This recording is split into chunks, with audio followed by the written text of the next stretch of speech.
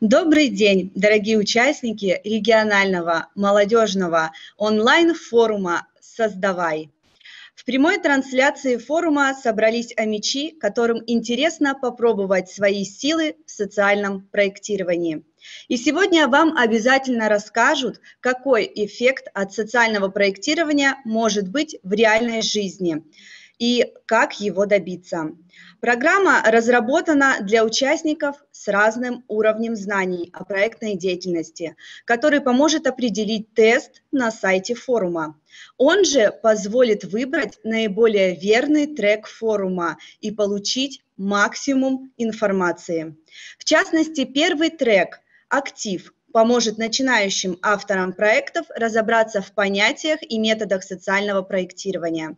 Второй трек Профи предназначен для тех, у кого уже есть представление о социальном проектировании и некий опыт в продвижении своих идей.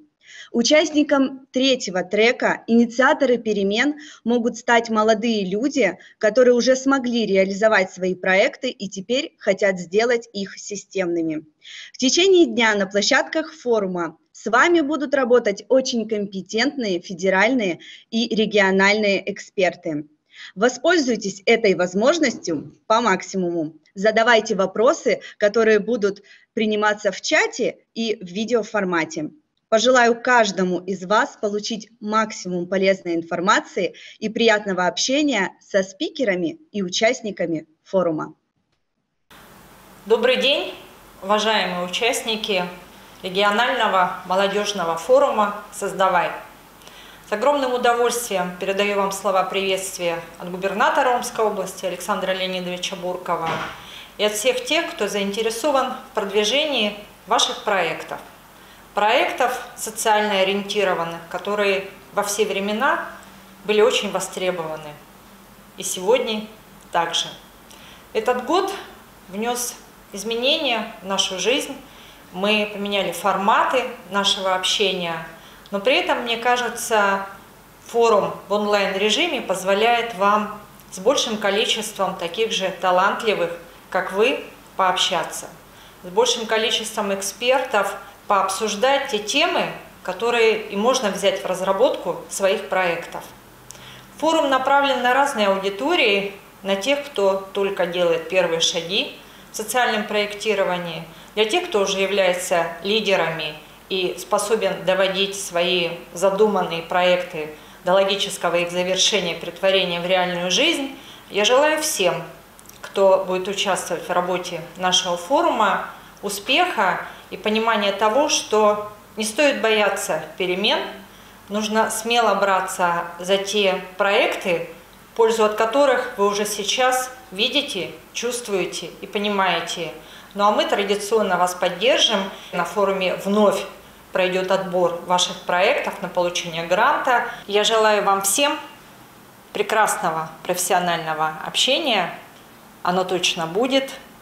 И это мероприятие точно оставит след в вашей жизни.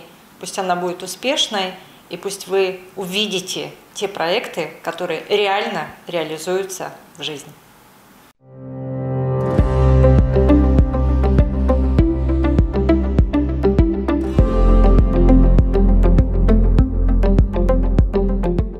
Добрый день, а, уважаемые участники. Меня зовут Мадлен Батурина, и я сегодня буду вашим спикером в ближайший час, и мы с вами поговорим о том, как инструменты социального проектирования можно применять в жизни. Давайте, ну, для начала проверим вообще связь, видно ли меня слышно. Давайте так, если меня видно, а, один плюсик, если видно и слышно два, а если у вас еще хорошее настроение – то тогда три плюсика.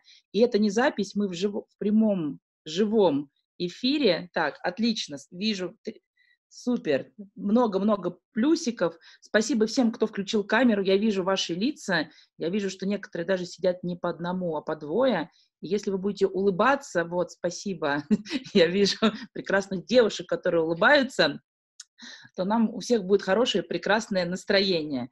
Я, а, да, Салават, это я. Я очень рада видеть всех, кого я видела в прошлом году.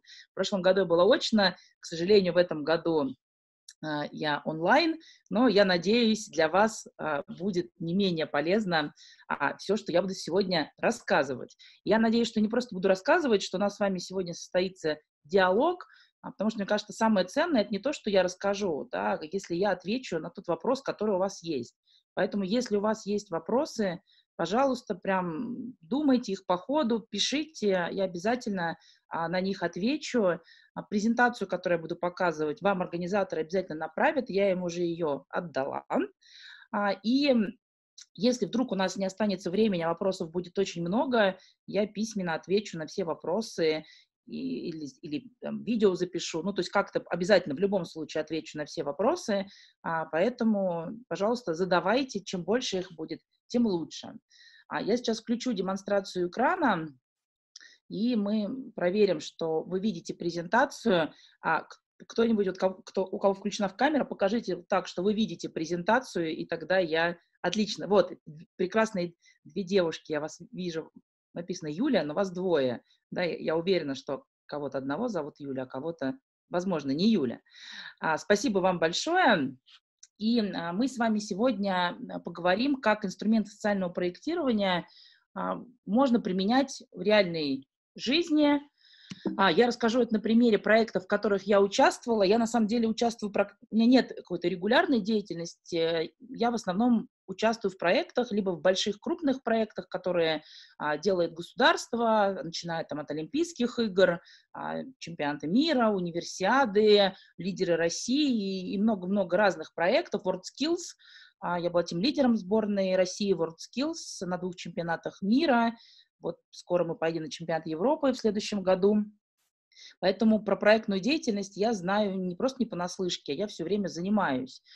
А, и не только участвую в проектной деятельности, но и организовываю, как руководитель проектов, я организовываю проекты, поэтому достаточно много знаю, как это работает. Поэтому буду рада ответить на ваши вопросы, все, что связано с управлением проектом, организацией проектов, работой с командой в проекте, поиска, ну, все, что связано в проекте, как учить людей, ну, все, что вот проектная и околопроектная работа, а, я с удовольствием отвечу на вопросы.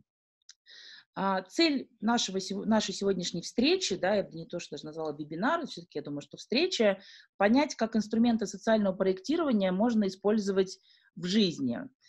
А вот сейчас у меня к вам вопрос, насколько вообще вы знакомы с инструментами социального проектирования. А, вот напишите в чат там «ничего не знаю» или там «я бог социального проектирования» или «я придумал социальное проектирование», да, или «я уже реализовывал проекты», да, или там «только изучаю». Вот что вы знаете про социальное проектирование, потому что я уже сегодня буду рассказывать, как это применяется в жизни, и а, важно понимать, да, нас, какую терминологию, насколько глуб, глубоко можно использовать. Так, ничего не знаю, отлично. Был опыт, но реализация проекта не состоялась. Так, хорошо, спасибо большое. На самом деле, а, достаточно э, частая история, причем причины могут быть а, очень разные, и как, как раз реализация проекта, это, мне кажется, там одно из самых таких вызовов и сложных. А, был опыт, так, отлично. Сейчас есть социальный проект.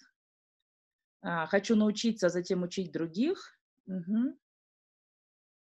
А, окей, спасибо большое а всем тем, кто ответил. Да, пишите, да, отвечайте, а, продолжайте, да, я потом вернусь к вашим ответам, да, вот я вижу, что был опыт реализации социально-педагогического проекта, был проект разовое участие в проектных командах и так далее.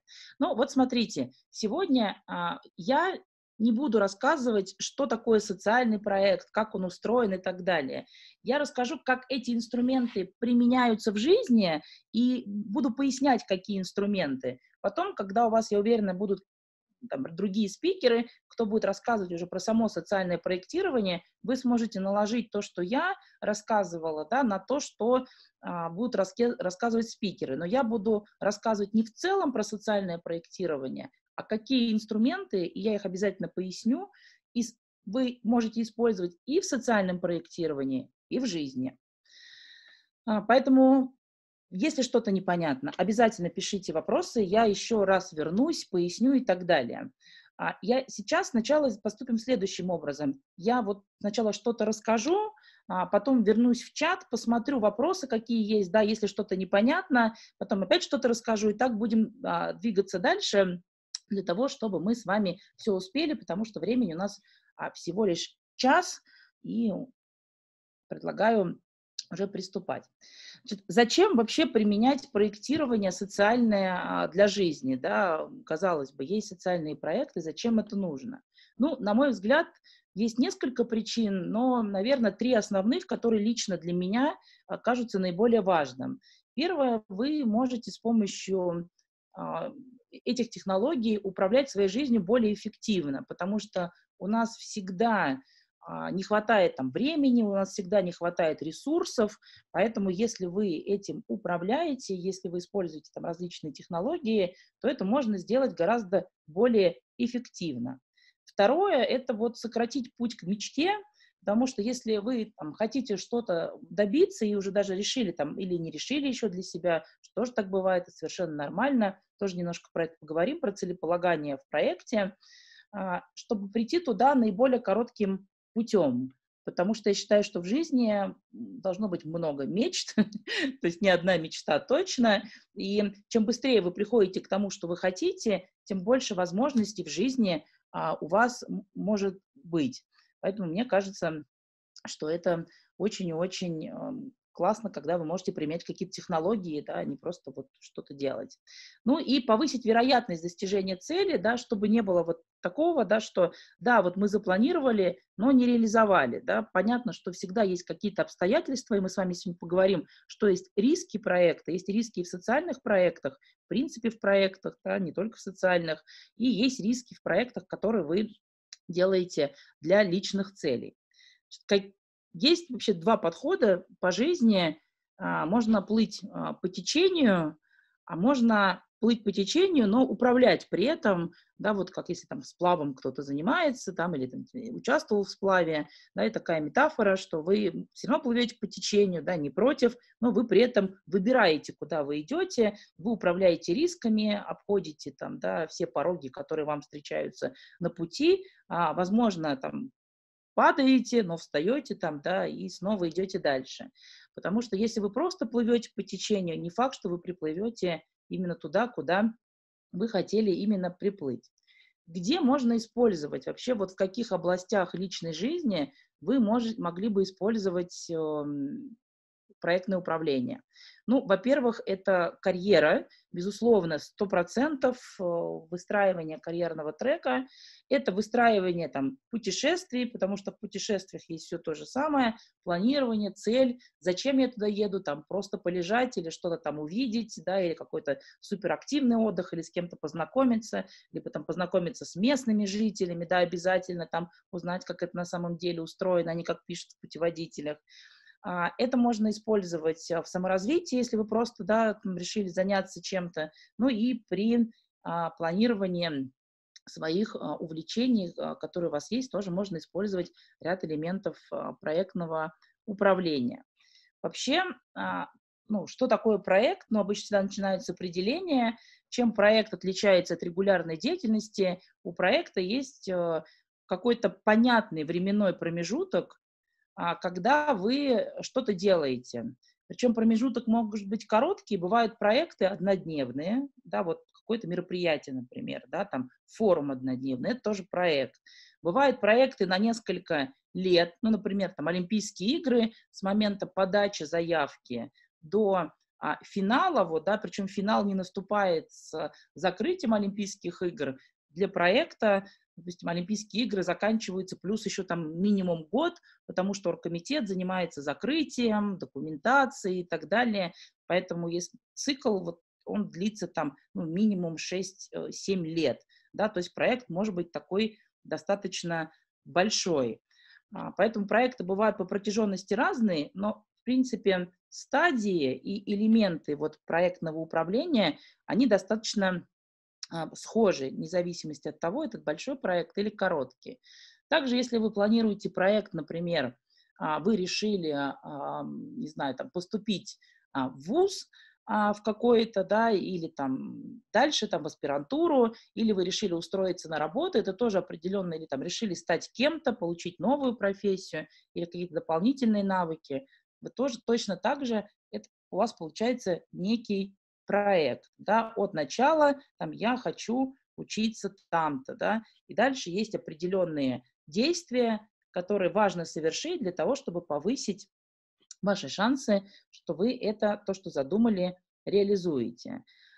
А, всегда есть а, много-много разных рисков, мы об этом поговорим, как сделать так, чтобы проект реализовался. Вот в любом управлении проектом, неважно, это соцпроектирование, потому что соцпроектирование – это на самом деле классическое управление проектами, но с социальной историей. Да? Есть, вот если представить как э, такую древнюю игрушку, кубик Рубика, э, это такая 3D-модель, в которой есть три грани.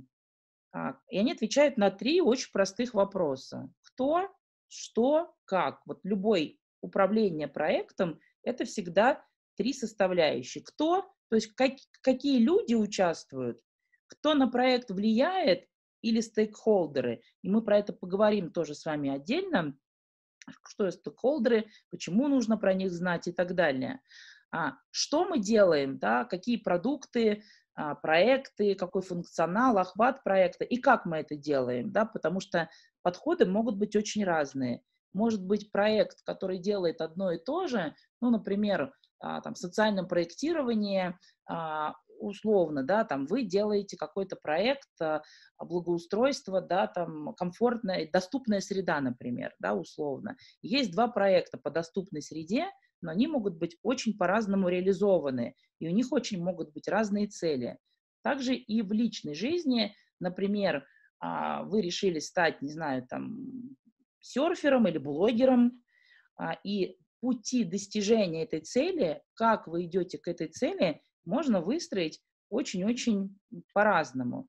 Поэтому ответ на вопрос «как» а, он никогда не одинаковый, даже если у вас одинаковая цель, ну, похожая цель, а то ответ на вопрос «как». И мы с вами сейчас вот по этим трем частям, по этим трем граням пройдемся кратко, к сожалению, там времени там можно несколько дней да, изучать, там, как устроено социальное проектирование, вообще проектирование, я намечу таким пунктирной линией а, какие-то основные, на мой взгляд, самые важные вещи, которые точно в жизни очень хорошо переносятся, вот, и тогда отвечу а, на ваши вопросы.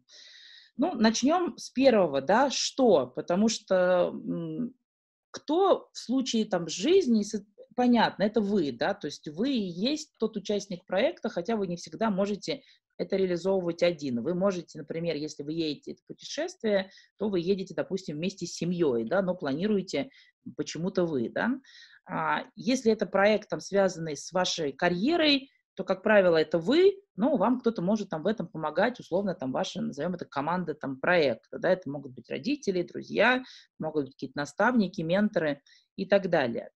Но сначала важно определить, что, да, сначала целеполагание, что мы хотим, какой проект мы хотим создать. И вот здесь а, я хочу обратить на ваше внимание вот на какой момент. Это мало про это говорят и в соцпроектировании.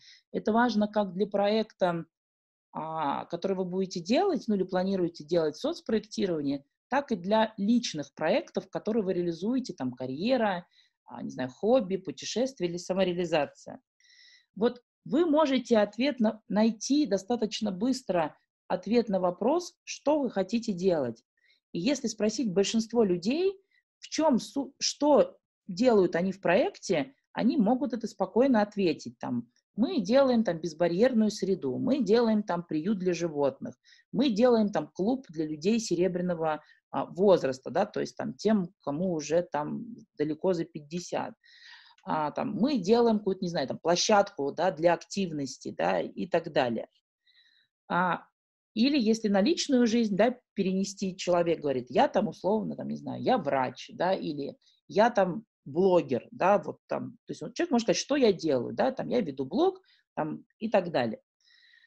А, чуть меньше людей, компании а, способны ответить, как они это делают, в чем особенность, да, вот в чем особенность там приюта, если вы делаете там для животных, а как вы это делаете, в чем особенность клуба, а, который вы делаете, или там площадки, или так далее, или в чем особенность этого блога. Но большинство тоже могут ответить, сказать, да, я делаю там обзоры на фильмы, а, да, но вот там таким-то способом, да, там уникальным вот так вот никто не делает. То есть вот мой способ, он какой-то другой. Поэтому не все сто процентов могут сказать, в чем все-таки уникальность этой истории.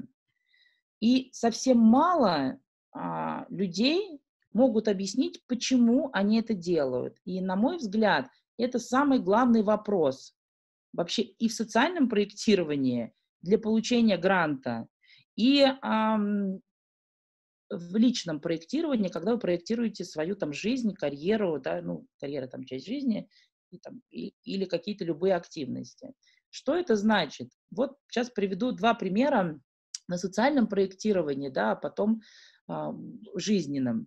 Вот у нас был один проект, который на одном из форумов а, подавала участница. Она выходит и рассказывает, ну, то есть у нее там есть, он уже описан, да, и она рассказывает. Говорит, я хочу а, сделать а, площадку спортивную там, в своем населенном пункте, там, я живу в деревне, хочу сделать спортивную площадку для того, чтобы люди могли там, вот тренажеры, которые будут уличные стоять, такие вот, они могли там заниматься, площадка для активностей. Как? Ну вот там мы выбрали место, договорились с администрацией, а, и мы вот все это будем делать. Э, там столько-то времени у нас понадобится, чтобы а, возвести ее, такие-то ресурсы нам нужны, столько-то людей у нас в команде. Ну и большинство людей именно так презентуют свои проекты, отвечая на вопрос, что и как. И люди не отвечают на вопрос, почему. Когда мы спросили, почему ты хочешь это сделать, она сказала следующее, что я верю, мне, говорит, мне говорит, очень обидно, что моя деревня умирает, потому что все оттуда уезжают, там нечего делать вообще. И молодежь прям уезжает, как только вырастает и имеет, ну, как только научилась ходить, сразу уезжает, убегает, чтобы что делать там нечего. А я, говорит, очень люблю место, где я родилась, выросла, оно очень классное и крутое. И я ищу разные способы для того, чтобы ну, хоть как-то гораздо более интересно стало у нас жить, и люди не так быстро хотя бы уезжали или, в принципе, хотели остаться. Я не знаю, поможет там площадка этому или нет, но я хочу попробовать, потому что я не хочу, чтобы моя деревня там умерла, не прекратила существование. Вот когда вы рассказываете про свой проект вот так, когда вы понимаете, почему вы это сделали, да, не потому, вот тогда есть и выше шанс реализации проекта, потому что если у вас есть ответ на вопрос «почему?», вы точно можете привлечь гораздо больше людей, ресурсов и так далее. И второй пример, да, одна из женщин тоже у нас выступала, она говорит, ну вот что, говорит, я говорит, делаю клуб для людей серебряного возраста, для пенсионеров, а, там три раза в неделю мы будем собираться, и у нас там будут разные активности. Вот. Мы ее спросили, почему она хочет это сделать, и она сказала, что я верю, что каждый человек имеет право быть не одиноким в старости. И поэтому я хочу сделать пространство, где каждый может найти а, себе да, человека, с которым он может там взаимодействовать и быть не таким одиноким.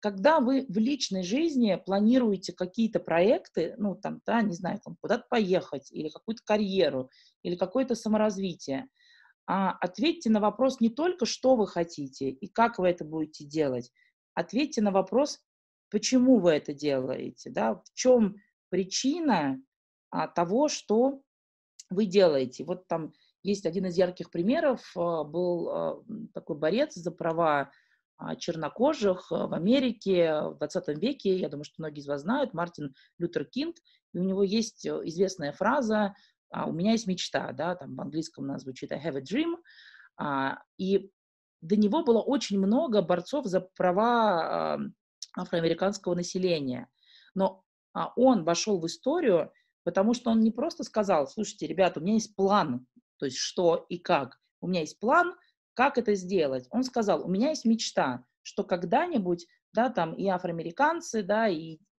коренные жители, и, бе, и а, белые жители, все жители Америки, а, все будет там демократично, равенство наступит и так далее. И люди к нему присоединялись и шли за ним, и он остался в истории, потому что он коммуницировал свой проект, свои жизненные ценности через почему. Поэтому очень вас рекомендую, вам рекомендую, как в вашем проекте социальном, так и вообще в том, что вы делаете по жизни, да, вот с точки зрения там своей, а, планирования своей жизни, найти ответ на вопрос, почему вы это делаете.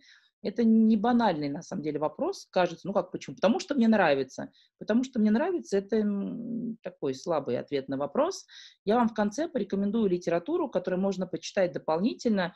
Вот про это есть целая классная очень книжка, вот, поэтому как искать ответ на этот вопрос, почему, как вырабатывать это ценностное поле. И очень вам рекомендую при защите проекта начинать с почему, а потом рассказывать, что и как. Вы тогда эмоционально зацепите а, людей, которые принимают решения, и а, шансы, то, что вы добьетесь, там, получите а, да, больше внимания, э, точно гораздо выше.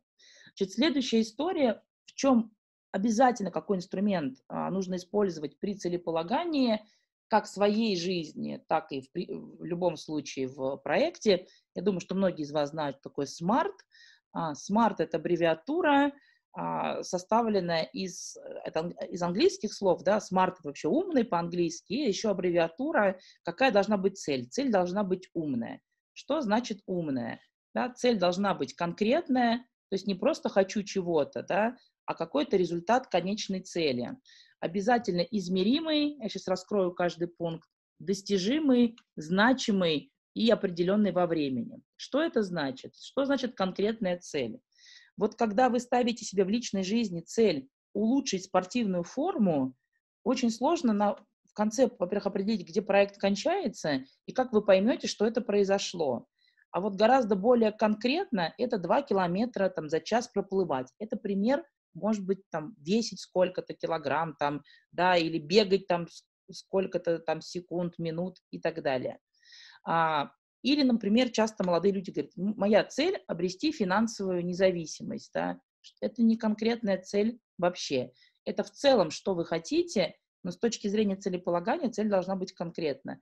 Я хочу там зарабатывать в три раза больше, ну, как пример, там, да, или а, чтобы не брать у родителей денег, тоже достаточно там конкретная цель и так далее.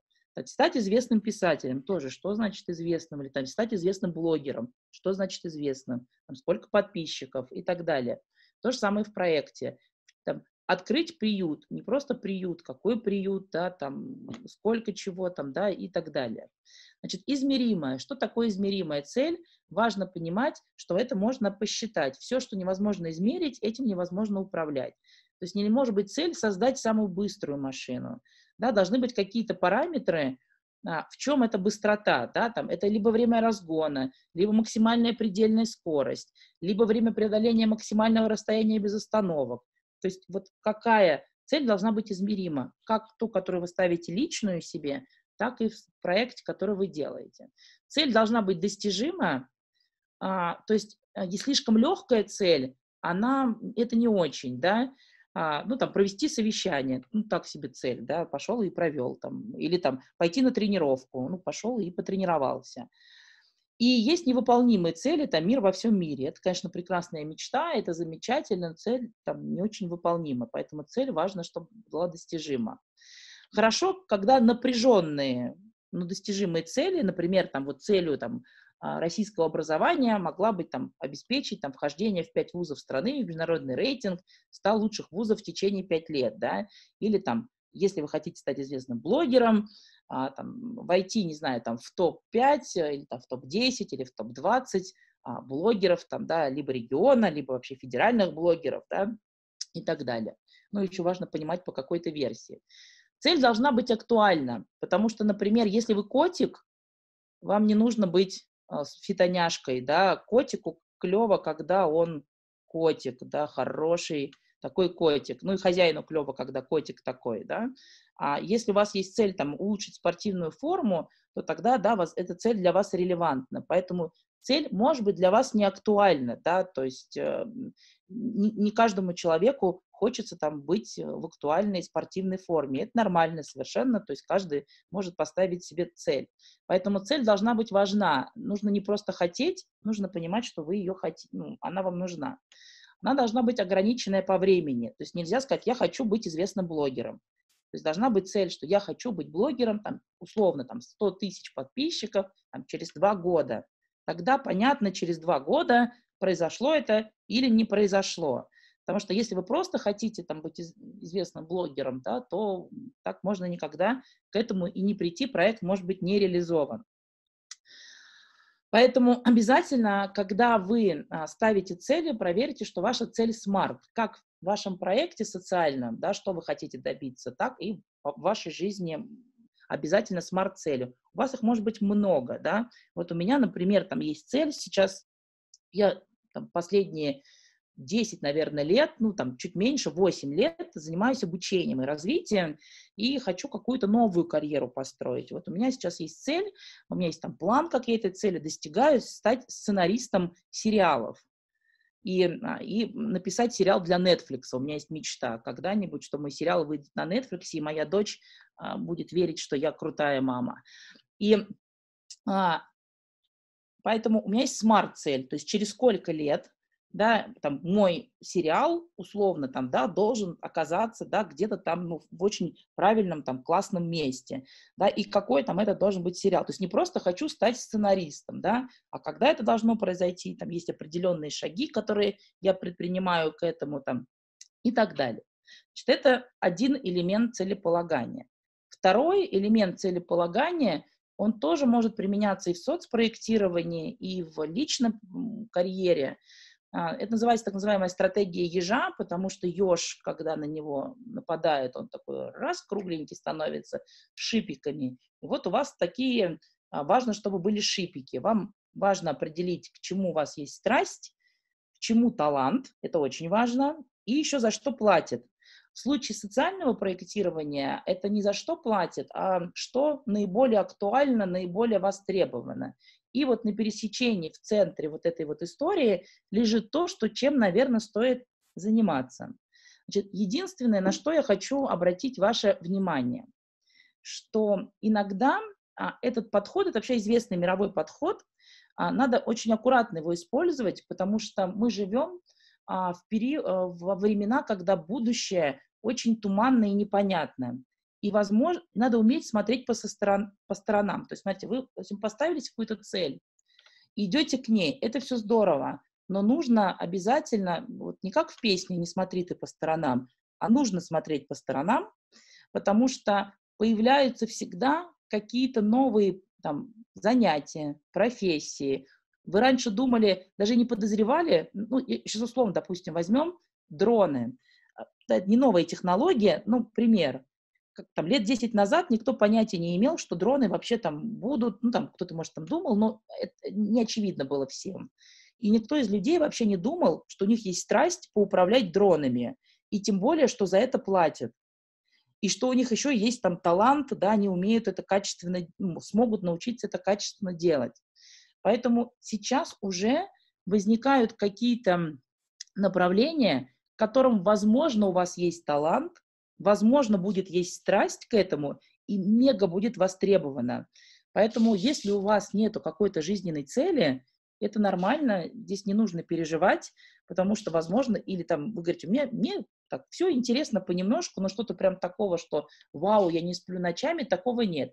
Возможно, это появится, это совершенно нормально, поэтому не пытайтесь, э, то есть идти все время только прямо. Смотрите по сторонам, потому что часто все самое интересное может приходить сбоку. Также и в социальном проектировании. Вы определяете, что вам интересно сделать в проекте, к чему у вас есть талант и что наиболее востребовано. И на этом пересечении вы а, реализуете, делаете свой проект.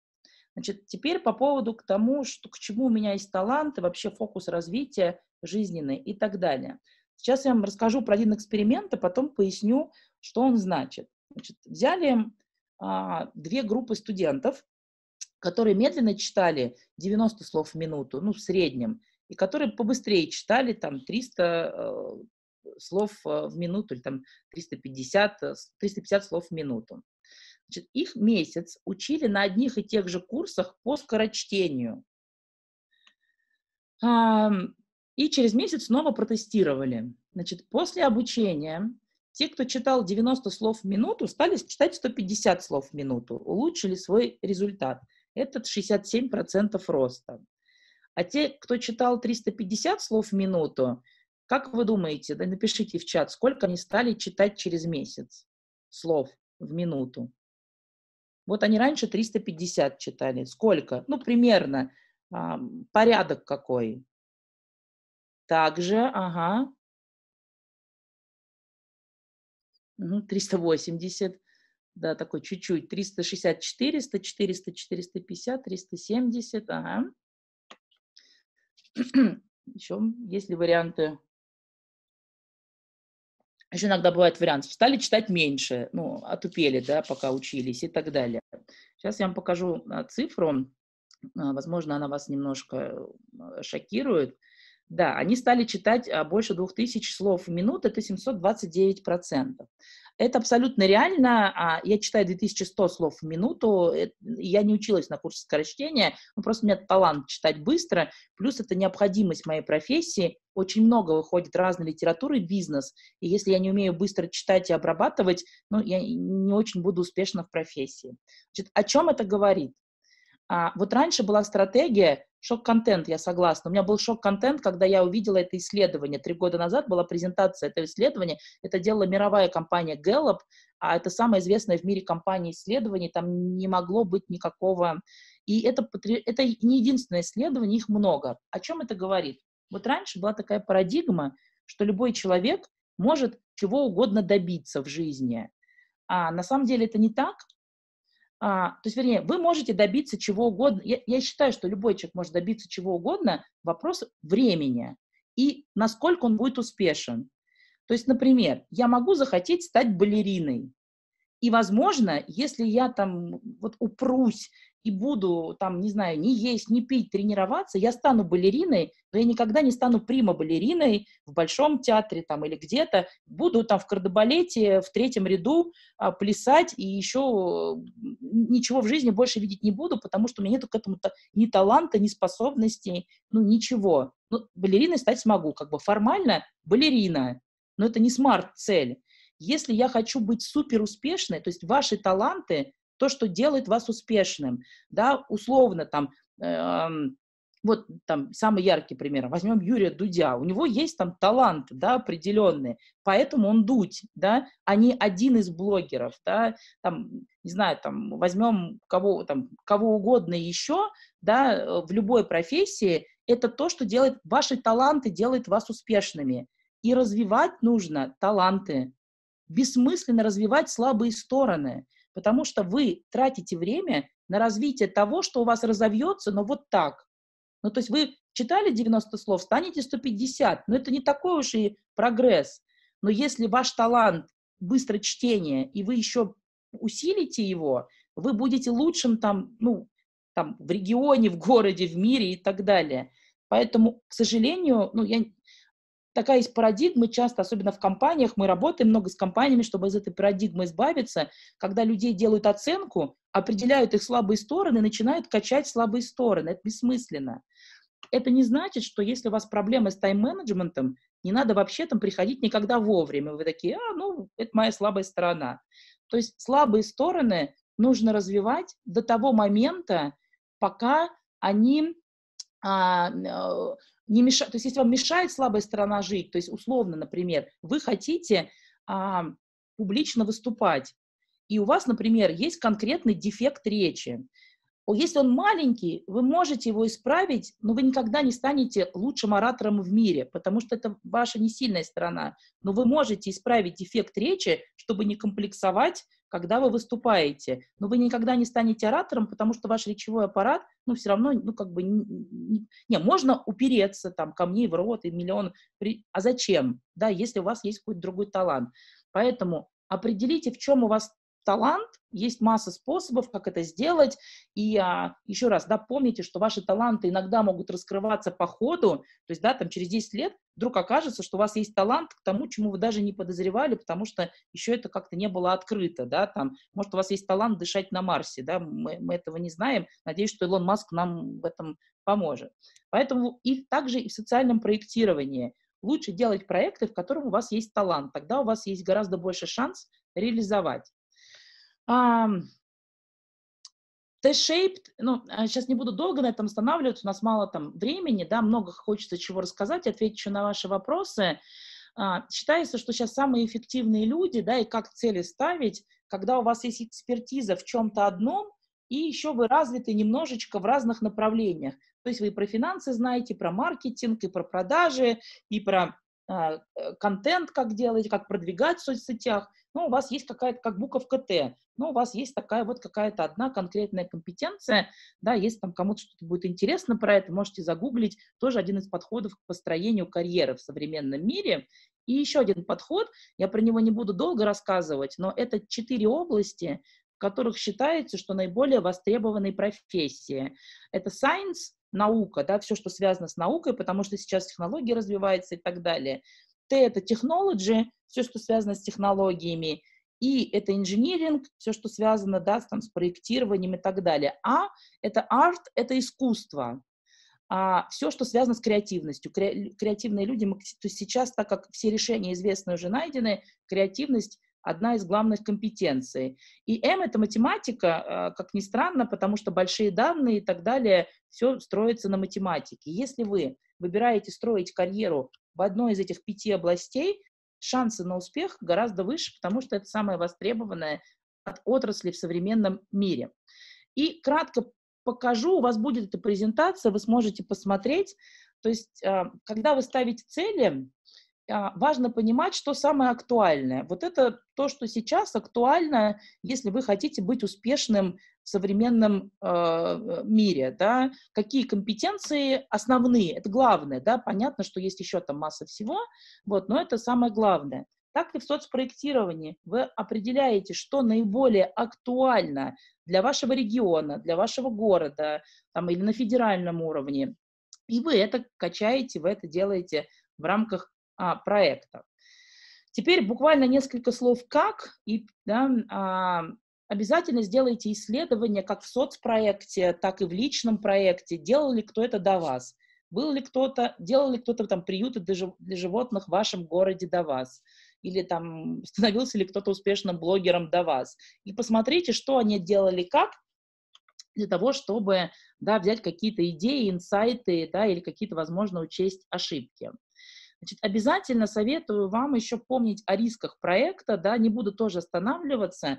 То есть всегда есть риски. Даже в однодневном проекте есть риск, да, что там пойдет дождь, например, да, и вы не можете что-то сделать. В большом проекте вообще рисков миллион. В классическом проектном управлении риски рассчитываются от силы удара от, от финансов, то есть насколько много денег нам нужно потратить. В личной жизни и от финансов, и от времени. И в социальном проектировании тоже от финансов и от времени. И вот эти риски а, нужно разложить на матрицы и посмотреть, да, насколько вероятно, что они будут. а, и финально, да, вот перед тем, как ответить на вопросы, еще хочу сказать про стейкхолдеров. Кто такие стейкхолдеры? Это все те, кто может повлиять на достижение проекта, как в личной жизни, так и в, профессион... Э, в социальном проектировании. Есть такое правило, что людей, которые влияют на ваш проект, всегда на один больше, чем вы знаете. А, как и в личной жизни, да, вдруг, появляется кто-то, кто неожиданно, да, там, а, вы там планировали какой-то, не знаю, там, бомбический запуск проекта, и вдруг кто-то раньше вас это делает, и вы уже второй, а не номер один. Вы понятия не имеете вообще, что он об этом де- это делал да, или вдруг там появляется бабушка ваша, да, которая говорит, нет, там есть семейное предание, если ты будешь делать это, там, проклятие на всю семью, да, и такие, о боже, о нет. То есть всегда есть на кто-то, о ком вы не знаете, кто может повлиять на ваш проект. Да, стейкхолдеры это могут быть лид... и в социальном проектировании, в личной жизни, физические лица организации, а, либо которые активно помогают вам реализовывать проект, либо на чьи интересы может повлиять проект, либо кто не участвует в проекте, может повлиять на его результаты, да, например, там, не знаю, органы местной власти, они вдруг решили запретить, там, не знаю, там, что-то, или наоборот разрешить. Значит, кого включать в список, вот чек-лист у вас будет такой, вы всегда сможете к нему обратиться, не буду сейчас на нем останавливаться, кого включать в список стейкхолдеров а, вашего проекта и как э, анализировать стейкхолдеров. Значит, на что хочу обратить ваше внимание вот на этой матрице. А, все стейкхолдеры распределяются на такие четыре условных квадрата. Есть так называемый о том, как они к вам относятся и насколько они силь, сильно влияют.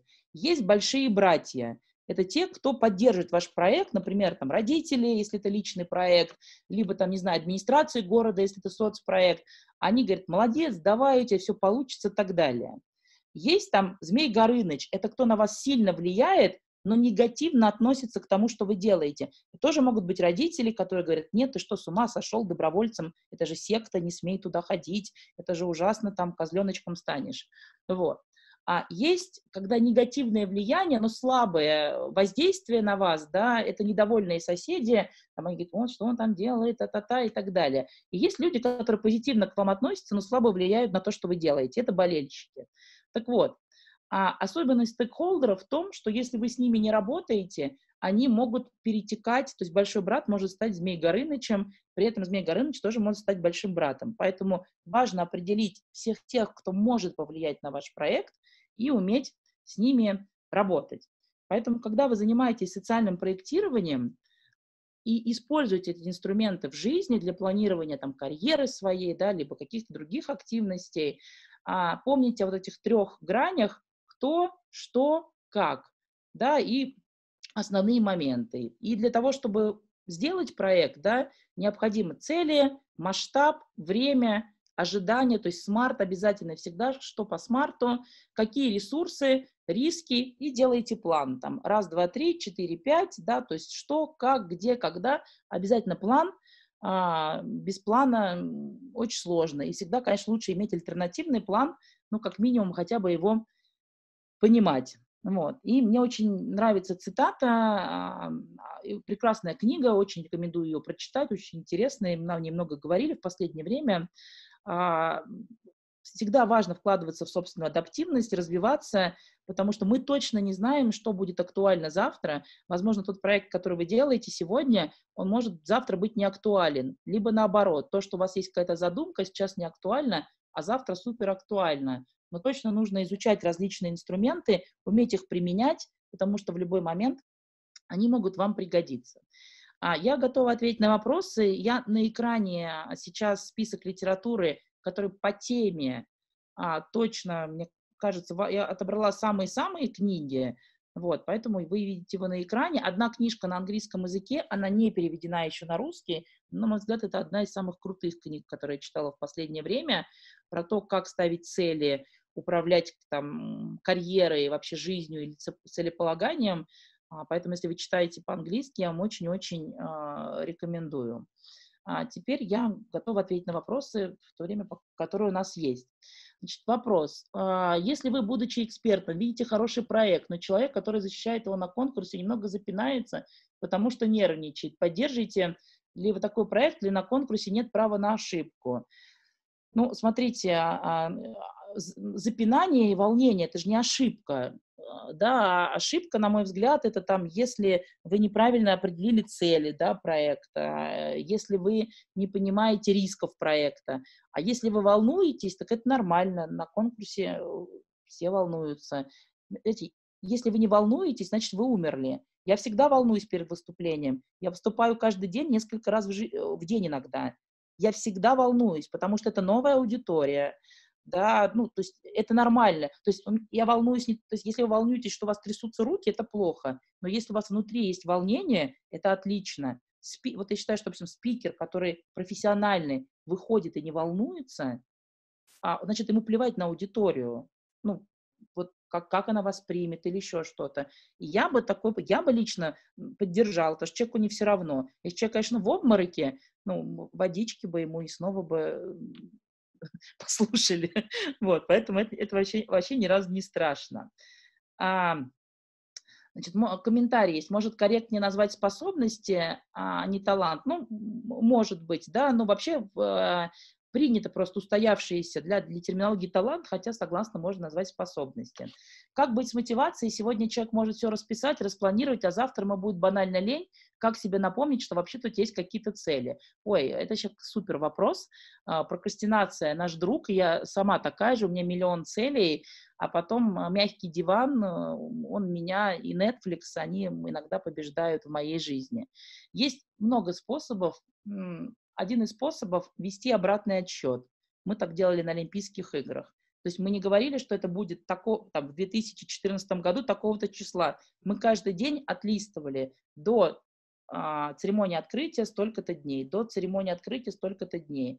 Когда, вот как ни странно, психологически это гораздо сильнее влияет, да, то есть, во-первых, ведите обратный отчет, да, там, до окончания проекта там столько-то дней, столько, потому что мозг воспринимает когда говорит, ой, через два месяца, ой, через два, а когда осталось 59 дней, это уже немножечко по-другому. Это первое. Второе, ну, кому-то помогает а, рассказать об этом людям, а потом э, стыдно, что ты не сделал. Да, не всем помогает, но кому-то помогает.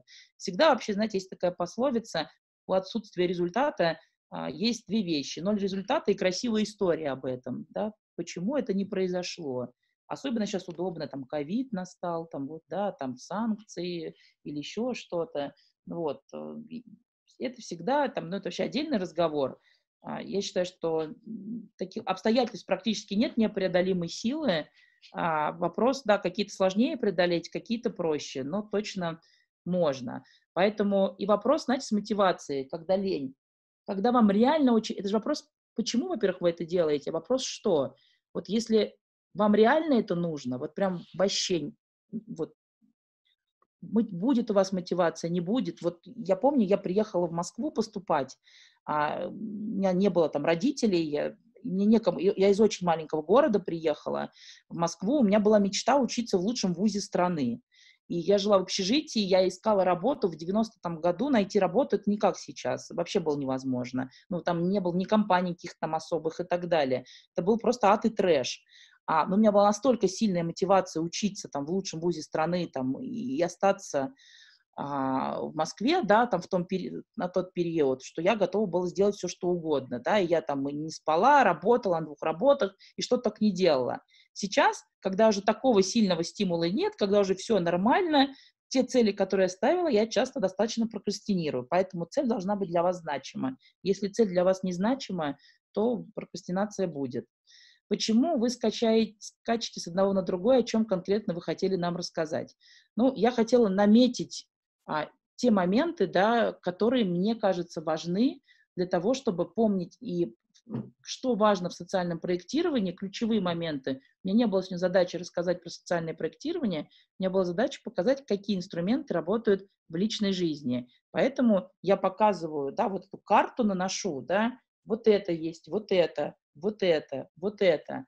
Дальше ваша, ну, как бы, как я обычно делаю, я выбираю то, что во мне отзывается, и с этим там в дальнейшем изучаю больше и работаю. Поэтому, если, ну, Оксана, вам показалось, что я скачу, я учту обязательно это замечание на будущем, но в самом начале я сказала, что я намечу какие-то такие точки, о которых точно важно помнить, да, потому что времени а, мало. А будет ли запись? Э, думаю, что да, наверное, потому что у меня и горит экран, ведется запись. А как справиться с волнением, а как побороть себя, как вести, когда ты сталкиваешься с неудачами? Ну, хороший вопрос. А, неудачи – это вообще хорошо. У меня было в карьере несколько не просто неудач, а прям провалов, когда мне казалось, что моя карьера э, закончена. У меня было два таких провала – когда было очевидно, что это моя вина, и люди это видели, ну, когда было вообще никак не спрятать, не исправить, ну, даже исправить было нельзя. И я одну из неудач очень тяжело переживала, я там 4 месяца там, пыталась отойти от этого, и мне казалось, что все вообще э, и так далее.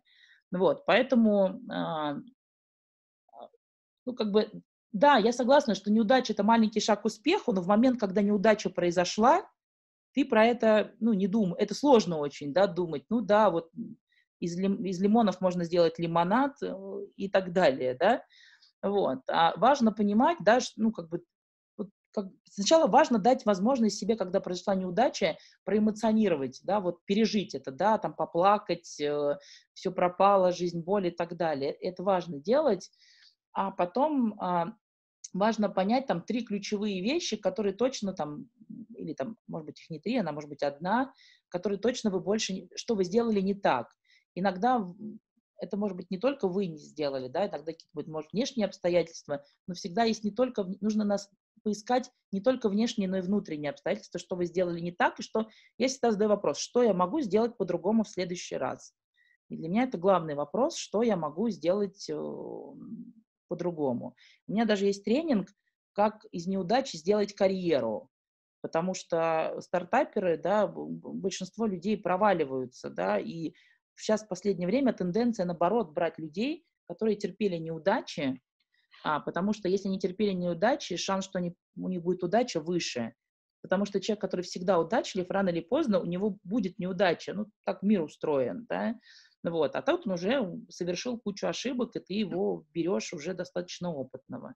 Поэтому а с волнением справиться есть физиологические способы справиться с волнением. Например, спикеры а, или спортсмены, если вы понаблюдаете там перед стартом, например, особенно пловцы это часто используют, а, но и спикеры многие, которые выступают, есть такой способ, он просто физиологический, да, а, нужно руки широко раскрыть и вот так вот несколько раз, вот так вот руками очень широко сделать. Когда вы так сделаете раз 10, только главное движения должны быть вот такие вот очень широкие. А у вас грудная клетка и вообще весь организм насытится кислородом, у вас изменится внутри соотношение гормонов. И это очень сильно помогает. Второе, что очень сильно помогает, когда вы выступаете, если вы волнуетесь, возьмите что-то в руку. Например, вот я часто, когда учу тренеров, мы кликер, да, то, что переключает слайды, используем как стабилизатор. Если нету кликера, а, возьмите э, маркер в руку, но только, и, ну, то есть что-то, ну, не, не очень сильно заметное. Потому что вы с маркером, может, вы там что-то хотите нарисовать на флипчарте. То есть когда вы вжим, сжимаете что-то в руке, но только не показывайте все время кулак, кому вы рассказываете, это как будто угроза. Но сжимая что-то в руке, у вас в какой-то момент волнение ну, становится все меньше и меньше. Потом можно этот предмет там положить, когда вы поняли, что справились с волнением. Мне больше нравятся какие-то технологичные способы работы с волнением, а не аутотренинг такой, там, я не волнуюсь, я не волнуюсь, я крутой, я готов. Нет, тоже классно, но не всегда помогает. А когда вы в руке что-то держите, это гарантированно поможет. На шатырь, да, но некоторые, если я понюхаю на шатырь, я приду в такое, мне кажется, состояние, которое вряд ли а, поможет мне, да, нет, если вы волнуетесь так, что вам нужен на шатырь, да, но главное, что если чуть-чуть на шатыря, да, действительно есть такой способ, многие это делают, даже футболисты, иногда, если там присмотреться, а, можно увидеть, что, ну, не все, но некоторые делают, да, спасибо Олег, что напомнили.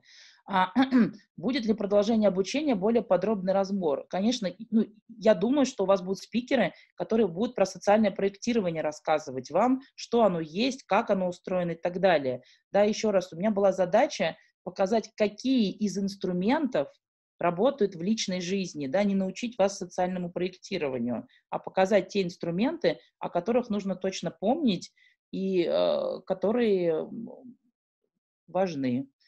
Вот, мой час закончился. Если еще есть вопросы, пожалуйста, да, я потом могу на них ответить письменно.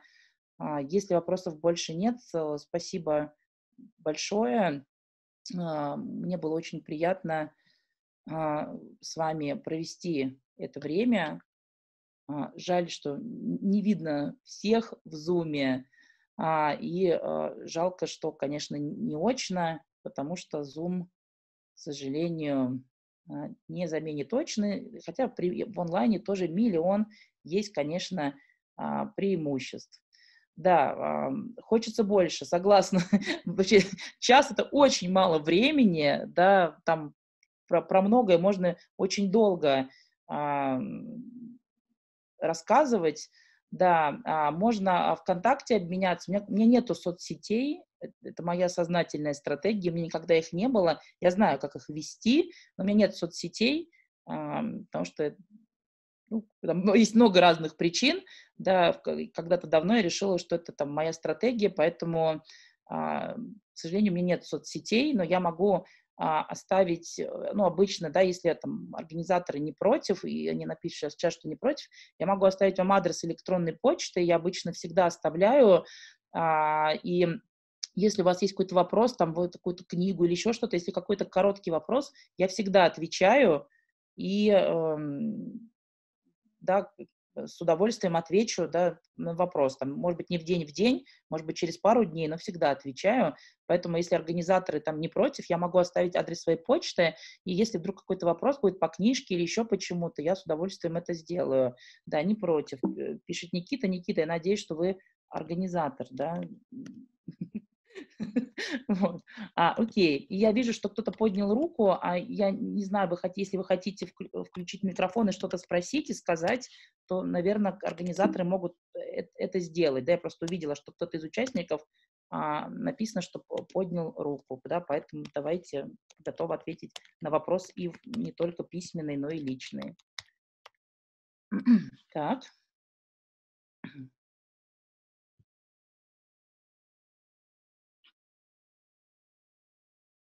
Да, мне кажется, была рука. Ну, я просто я не вижу, к сожалению, полный экран, не вижу всех. А, окей. А, тогда спасибо всем большое. Да, если у вас какие-то остались вопросы, да, я готова еще раз коротко на них ответить, да. Спасибо большое. Всем хорошего дня, успешного форума и желаю вам всем защитить проекты и получить грант, если у вас есть такая цель, и делать проекты, которые в первую очередь вдохновляют вас, потому что если вас проект э, не вдохновляет, он не вдохновит э, и людей, которые будут вас слушать и решать, применять грант или нет. Я считаю, что нужно не делать не конъюнктурные проекты, а самим создавать тренды. То есть если вы этот тренд делаете, если вы верите в проект, то точно в него все получится. Поэтому, если вы верите, и, и, и с волнением точно справитесь, и, и с чем угодно. Главное, главное верить, да, потому что настоящих буйных мало. Я надеюсь, что вы настоящие буйные, и точно у вас все получится. Всем спасибо большое, пока.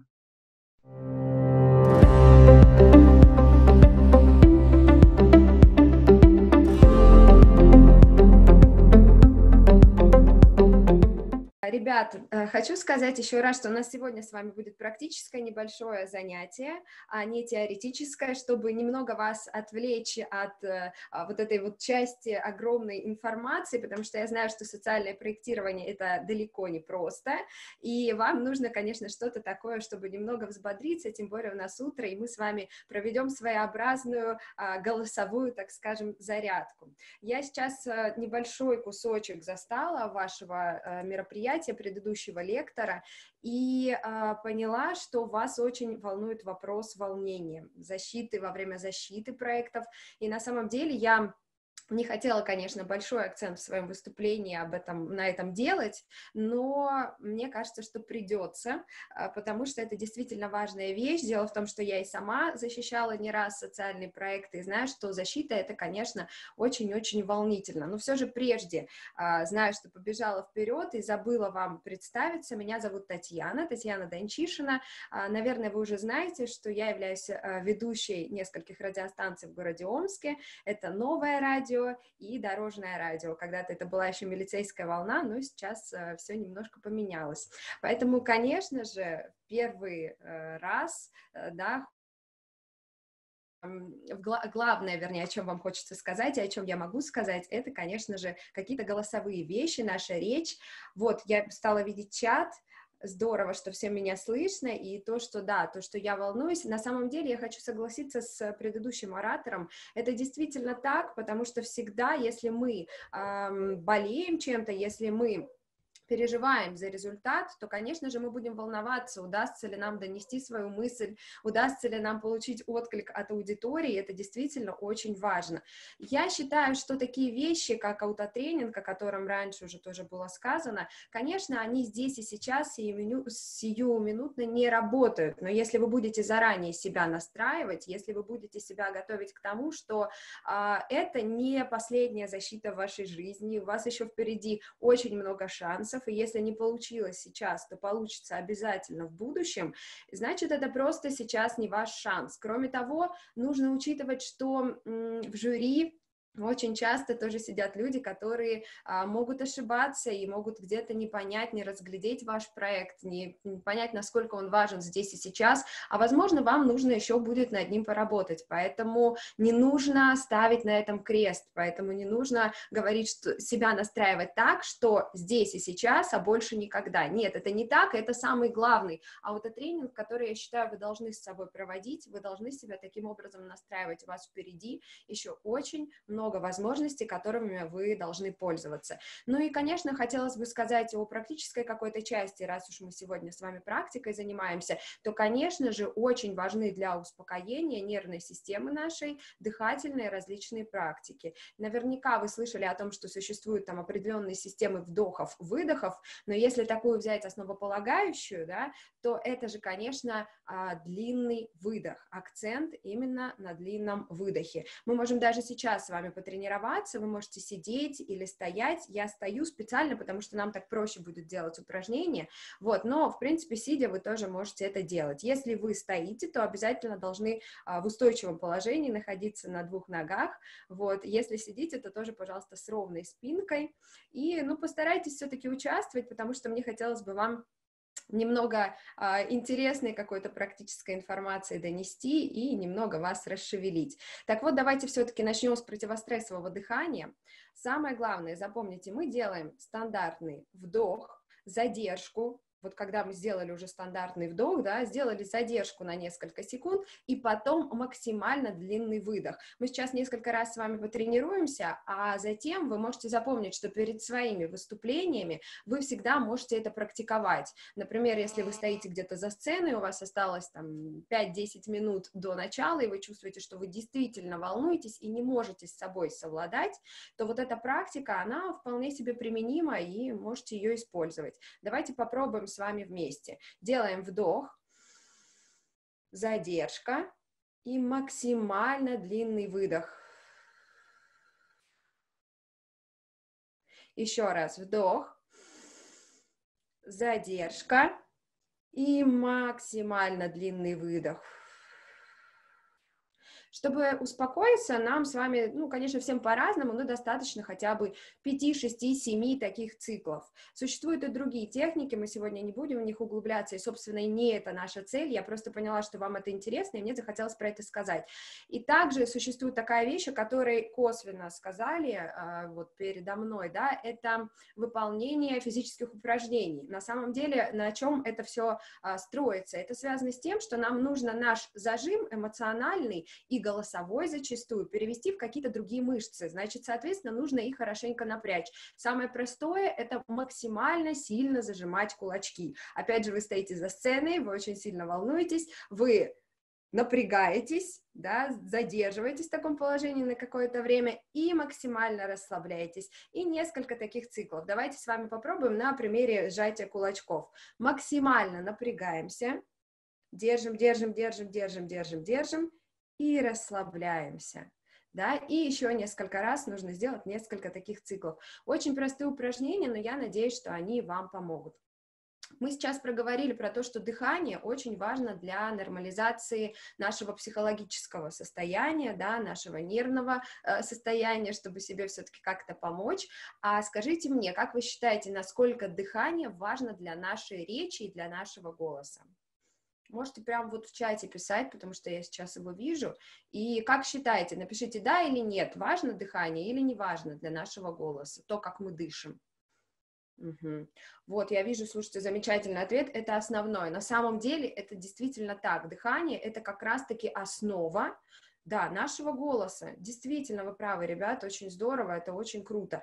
А, существует, э, дело в том, что я какое-то время занималась очень продолжительной и эстрадным вокалом еще, и, соответственно, конечно, пение очень завязано на э, дыхании на нашем, да, и поэтому, конечно же, я знаю, как никто другой, что очень важен столб воздуха, как говорят вокалисты, да, очень часто. Вот если он у нас сильный, большой такой, да, если у нас э, большие легкие, которые, которые имеют большой объем и способны прогонять большое количество воздуха, то, конечно, мы с вами тогда большие молодцы и сможем владеть в больше, с большей вероятностью, да, своим голосом, чем те люди, которые э, не умеют правильно дышать. И что, как вы считаете, самое важное, вдох в нашем дыхании или выдох, именно если речь идет про голосообразование, да, не просто про наши потребности организма.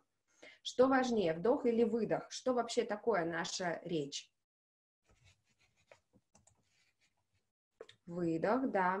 Все правильно, да. И это значит, э, что мы с вами в первую очередь должны работать над нашим выдохом, над качеством нашего выдоха. Вот сейчас, когда я вам давала упражнение на а, успокоение да, нервной системы и приведение себя в стабильное состояние, как раз тоже мы делали акцент с вами на выдохе. Вот и в следующем упражнении мы попытаемся потренировать наш выдох. А, строится оно таким образом. Мы с вами проговариваем слово «здрасте», те, да, стараясь максимально тянуть буковку S. Для этого, конечно, в идеале нам нужно с вами встать, потому что нам нужно наклониться вниз, да, согнуться меня сейчас не очень будет хорошо видно, но тем не менее, то есть вы сложили ручки перед собой, говорите «здравствуйте», и на буковке S начинаете наклоняться вниз. Для чего мы это с вами делаем? Для того, чтобы немного себе физически помочь, чтобы нажать на а, область живота, да, потому что у нас здесь происходит давление, и значит нам проще с вами сделать выдох. А, задача ваша состоит не только в том, чтобы максимально длинным сделать этот выдох, но и в том, чтобы сделать его максимально ровным. Потому что, может быть, ситуация такая, я не знаю, будет ли сейчас слышна какая-то разница вот э, в дистанционном да, формате с использованием микрофона. А, но может быть такая ситуация, когда мы выдыхаем очень неровно. Например, можно сравнить с шариком да, воздушным, который резко отпускают, и он вот так начинает сдуваться, соответственно, у него и звук да, выдоха в кавычках, выдоха шарика, он очень неровный, то есть здравствуйте, это очень важно. Кажется, что такая незначительная вещь. На самом деле, конечно, нужно стремиться к тому, чтобы выдох был максимально ровным. Давайте попробуем пару раз хотя бы. Я призываю вас сделать это вместе со мной, ну или хотя бы запоминать, а, потому что в будущем это вам тоже, я думаю, пригодится. Вдох и здравствуйте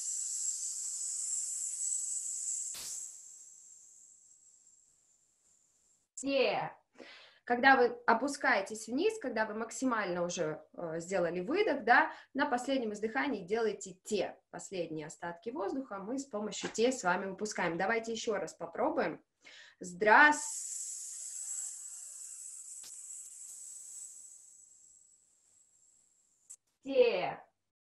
Напишите мне, пожалуйста, кто-то вообще попробовал, и получается ли у вас, какую-то обратную связь мне дайте. Вообще, и можете еще, кстати, написать, делал ли, делал ли кто-то когда-то подобные вообще упражнения в своей жизни, и вообще работали ли вы над дыханием. Да, здорово, получается.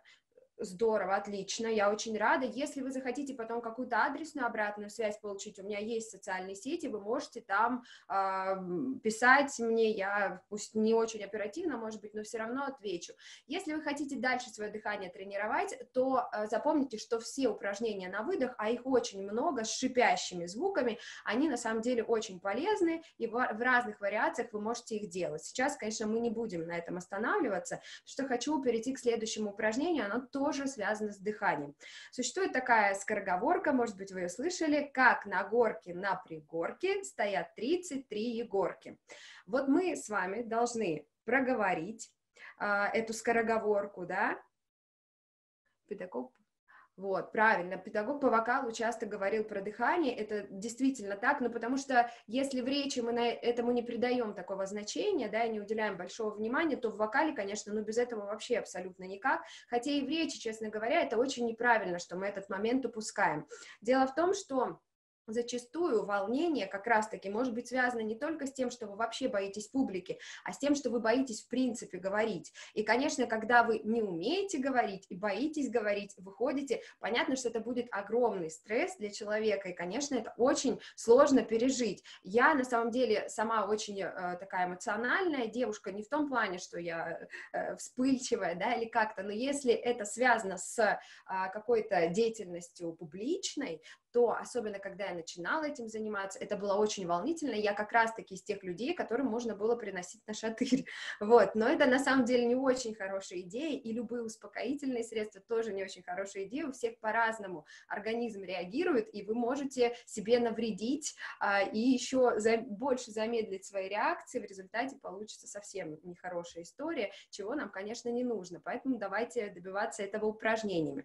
Так вот, возвращаемся к скороговорке, как на горке на пригорке стоят 33 горки. Мы с вами вместе проговариваем, а затем наша задача на одном дыхании, не делая до вдохов, посчитать егорок. Не нужно громко это делать, но в таком достаточно среднем э, диапазоне громкости, да, раз егорка, два егорка, три егорка, четыре егорка, пять егорка, шесть егорка, семь егорка, восемь егорка, девять егорка, десять егорка и так далее, и так далее, и так далее. В идеале мы стремимся к 33 и более, но, конечно, если поменьше, ничего страшного. Давайте попробуем с вами вместе.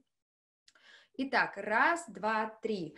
Как на горке на пригорке стоят 33 горки. Вдох. И считаем. Сейчас считайте каждый в своем темпе. Конечно, желательно считать достаточно быстро. И сейчас, когда вы досчитаете, вы мне, пожалуйста, тоже в чате напишите, какие у вас а, цифры получились, какое количество егорок. Да, вот все говорят, любимая буква «Р» здесь в этой скороговорке присутствует. Это действительно так. Наша задача сейчас на ней не концентрироваться, мы не должны стремиться ее прям четко-четко проговорить, вот, но все-таки мы здесь делаем акцент на дыхании. Да, вот стали писать уже. 25 егорок, это хороший очень результат, это очень хорошо, 27 тоже очень здорово, ну, то есть такой прям на крепкую четверочку, 36 это уже 5 и 5 с плюсом даже, я бы сказала.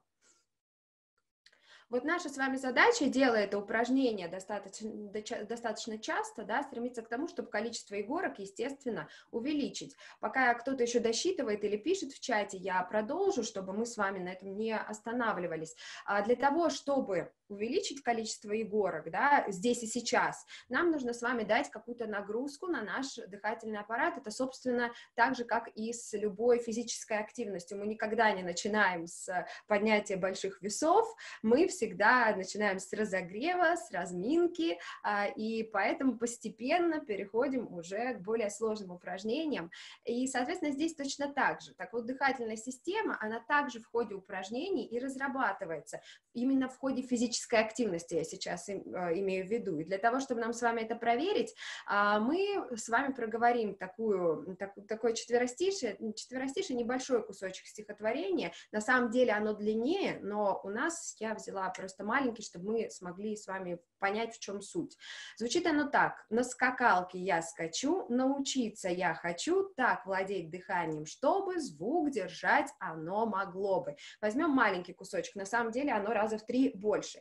А, наверное, как вы уже поняли по смыслу, мы должны проговаривать его и прыгать на скакалке, якобы, ну то есть имитировать прыжки на скакалке. Давайте сейчас попробуем, встаньте, у кого есть возможность, это было бы очень здорово. Мы с вами встаем. Один Егорка у кого-то получился, вижу, но это ничего, ничего страшного. Взяли воображаемую скакалку в руки, сделали вдох максимально глубокий, причем не поднимая плечи, не вот сюда куда-то в грудь, а поглубже, да, в область диафрагмы, или если так внешне, э, давать какие-то ориентиры, в область живота. Сделали вдох, взяли скакалку, и на скакалке я скачу, научиться я хочу, так владеть дыханием, чтобы звук держать оно могло бы. Вот, наша задача с вами максимально ровно, да, держать свое дыхание. Опять же, не позволять ему прыгать, не позволять себе задыхаться. Таким образом, мы отлично разрабатываем дыхательную систему. И если сейчас мы не будем это делать, потому что я не уверена, что, во-первых, все прыгали, а во-вторых, э, ну просто чтобы на этом не останавливаться, но если бы сейчас мы с вами сделали повторный егорок, то, скорее всего, после вот этой тренировки, после того, как кровь у нас к альвеолкам в легких приливает, да, мы бы с вами больше егорок насчитали. Если вам интересно, вы можете такой эксперимент потом сами провести и убедиться в том, что это действительно так. Вот, мы с вами закончили с дыханием, такой небольшой блок, конечно, можно было бы еще много всего сделать. И перейдем к следующей важной составляющей нашей речи и того, как мы говорим, это артикуляция. Как раз-таки здесь вот заходит речь о наших буковках R, о том, насколько четко мы с вами говорим, потому что правильно дышать это важно, но если у нас здесь не будут работать мышцы, то, конечно, мы с вами ничего четко сказать не сможем. Артикуляционный аппарат — это все мышцы, мышцы внешние и внутренние, собственно говоря. Наш язык, как вы знаете, самая сильная мышца в нашем организме.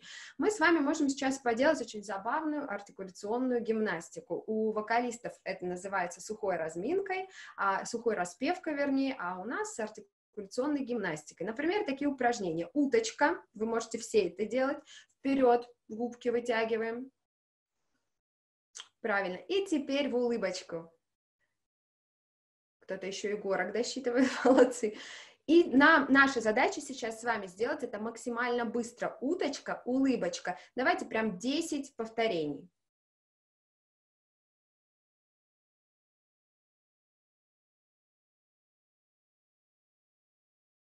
Наверняка вот если с непривычки, то наверняка вот здесь прям может мышцы сводить. Напишите, если действительно у кого-то какой-то эффект. Но, может быть, да, здесь такое очень теплое ощущение тепла, потому что мы действительно с вами тренируем, разогреваем мышцы. Следующее упражнение. Делаем уточку и по кругу вводим, ну, сначала в одну, потом в другую сторону. Давайте пять раз в одну, пять раз в другую. Уточка и пошли.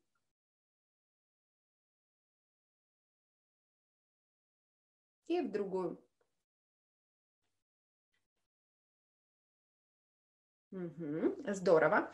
Мы можем с вами пожевать губки. Вообще все упражнения в артикуляционной гимнастике, которые связаны с тем, чтобы немного пожевать самого себя, они очень хорошо разогревают, потому что кровь быстро приливает. Но вы все-таки не перестарайтесь, не надо ничего себе откусывать и прикусывать, там буквально чуть-чуть, просто вот так кусаем губы, посмотрите. И верхнюю. Очень здорово покусать язык по сторонам, да, давайте с одной стороны чуть-чуть и с другой стороны. И кончик языка. Здорово, туда-сюда. Вот, можем еще такое упражнение, закрытый ротик у нас, да, и мы опять же разогреваем язык, закрыли, и наша задача проткнуть щечки изнутри, смотрите.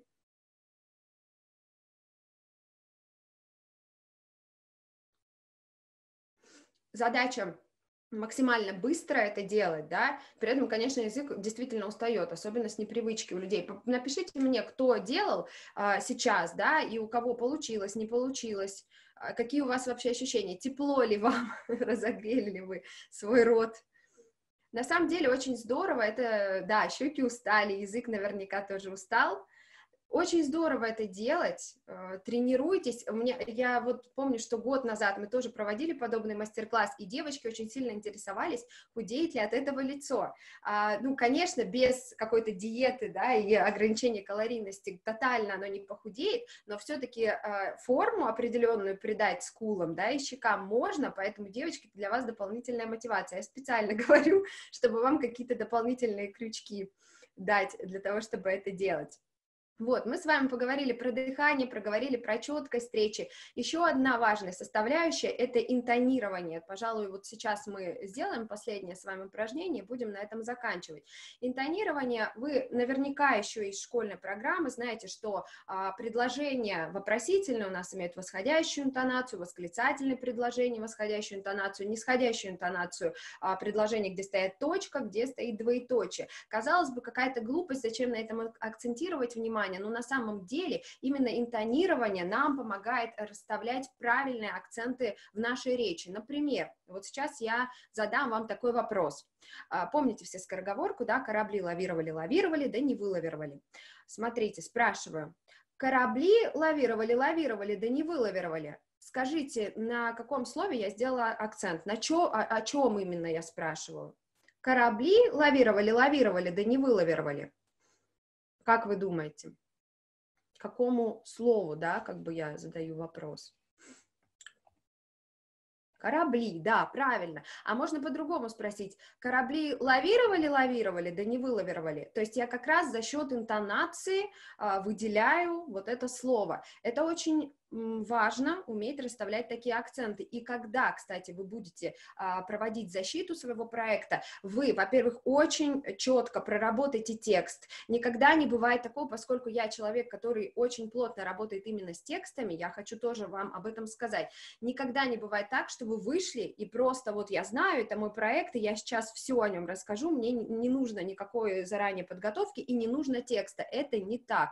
Вам нужно заранее его очень четко прописать, чтобы понимали, что вы укладываетесь в хронометраж, что там обычно очень четкие временные рамки. Конечно же, это все проговорить и расставить акценты. Акценты как раз а, расставляют за счет интонирования, за счет пауз, да, а, поэтому вы должны этому учиться, это очень важно, и вам это тоже поможет в подготовке.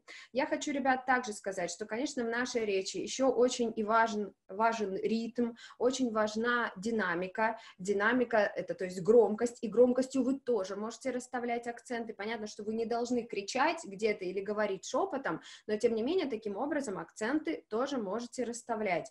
И, конечно же, темп речи. Я сейчас говорю в быстром темпе, потому что мне нужно максимально много информации вам выдать, но вы должны для своего выступления выбирать э, средний темп, не гнать, но и при этом, конечно же, не замедляться.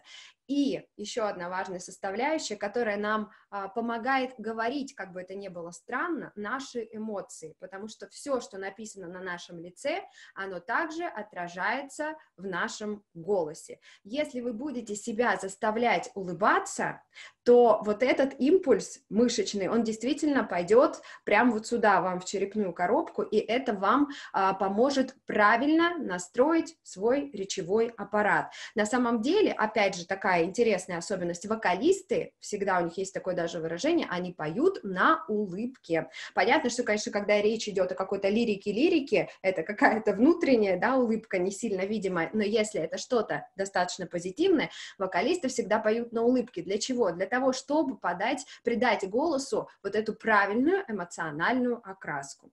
Я призываю вас всеми этими рычагами пользоваться и в своей э, жизни, вот, ну, только народное пение, нет, я не совсем соглашусь, потому что я занималась эстрадным вокалом, конечно, академический мы не будем сейчас с вами, да, затрагивать, там совсем другая история, но у эстрадников тоже это очень э, важная все-таки составляющая, потому что мы даже говорим на улыбке, ну, то есть мы, э, дикторы, люди, которые работают на радио, мы говорим на улыбке, несмотря на то, что у нас часто речь идет о какой-то серьезной информации, потому что это определенный посыл, определенная окраска голоса. Ребят, заним э, этими вы можете, если вы заинтересованы, написать мне, я вам что-то подскажу. Вы можете найти их в интернете, потому что это, э, ну, очень открытая информация и много разных вариаций, вот. Как часто делаю я эти упражнения? А вы знаете, по-разному. Бывает вообще в идеале, конечно же, нужно перед э, началом любой активной речевой деятельности, например, вот я сажусь, э, выхожу в эфир, да, и мне нужно, конечно, разогреть голосовой аппарат, но не всегда это, к сожалению, так получается, потому что часто ты уже в процессе работы включаешься. Но на первых порах я действительно очень э, регулярно выполняла эти упражнения, ну, слушайте, ну, лет пять, наверное, раза три в неделю я стандартно их делала. В идеале можно и больше времени на это э, уделять, потому что, ну, 5-10 минут в день почему на себя не потратить? Это было бы очень здорово и для вас полезно.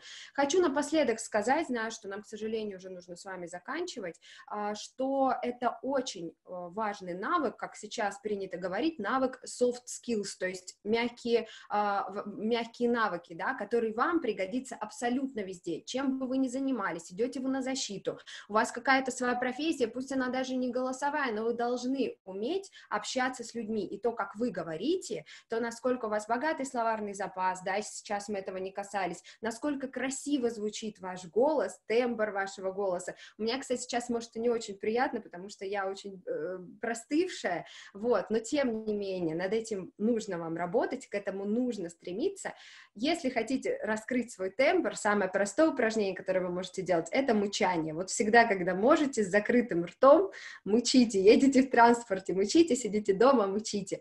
Я хочу вдогонку вам сказать, э, без относительно вот даже к голосовым каким-то навыкам, говорили прежде, что делать, если у вас какие-то неудачи, и что, как это все переживать, и как жить дальше, а, я хочу вас призвать к тому, чтобы вы просто, несмотря ни на что, шли вперед, несмотря на какое-то чужое мнение, несмотря на сложности и преграды. Буквально вчера я совершенно случайно а, посмотрела интервью а, Глуховского, это Дмитрий Глуховский, автор нескольких книг, вы знаете, текст была по нему экранизация «Метро» и так далее, и так далее, и он на вопрос о том, как добиться успеха, сказал, что нужно долбить, долбить и еще раз долбить. Вот и я вам тоже желаю того, чтобы вы, несмотря ни на что, шли к своей цели упорно, никого не слушали, потому что если вы действительно этого хотите, то у вас не будет лени, вы сможете себя перебороть, вы всего добьетесь. Вот, ребят, большой удачи вам, мне было приятно сегодня с вами пообщаться в таком, пусть и дистанционном формате.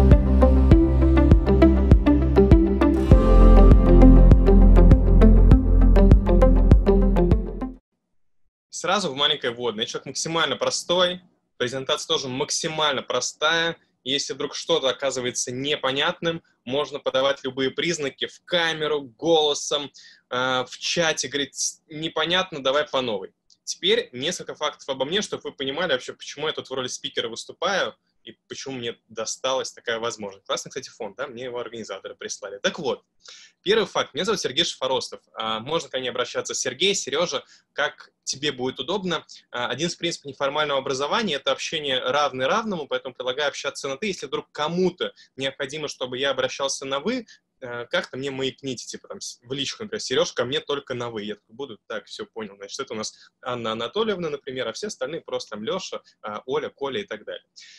Первый факт обо мне. Он таким образом визуализирован. А, есть его вторая визуализация, она выглядит так, и все это а, напоминает нам не только о том, что у меня в детстве были розовые волосы и хайры, о том, что я слушал стигмата «Горит, горит убийца плачет». Это все связано с тем, что в 2007 году я впервые в своей жизни попал на школу актива своего университета. Это был такой первый образовательный формальный проект. И вот стыдно говорить в приличном обществе, но уже 13-й год, понимаете, 13-й год. Я так или иначе связан с неформальным образованием. Поэтому, возможно, у меня будет какой-то опыт, который будет тебе полезен. Второй факт обо мне. А, я не просто как Сережа Форостов здесь выступаю. А, у меня еще такие коллеги. И вот здесь у меня на футболке что-то написано. А, соответственно, я представляю здесь Ассоциацию тренеров Российского союза молодежи. Может быть, вы о ней слышали, может быть, нет. Это вообще не принципиально. Главное, главное, что по мне может идти об ассоциации, по ассоциации может идти обо мне. И одна из тех э, вещей, которыми я сейчас занимаюсь, это федеральный проект пространства развития, который посвящен социальному проектированию. Мы занимаемся развитием малых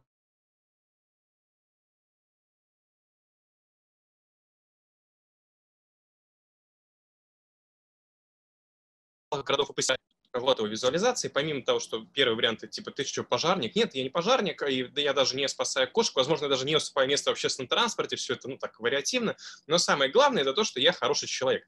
Я предлагаю тебе в это поверить, чем быстрее ты в это поверишь, тем проще нам будет взаимодействовать, мне не придется продираться через дебри, а докажи, что ты норм, потом, возможно, тебя послушаю. Ну, вы понимаете, о чем я. В общем, предлагаю от этого оттолкнуться, потому что времени у нас крайне мало, я грущу, когда понимаю, что у нас так мало времени, но надеюсь, что это будет интересно и полезно.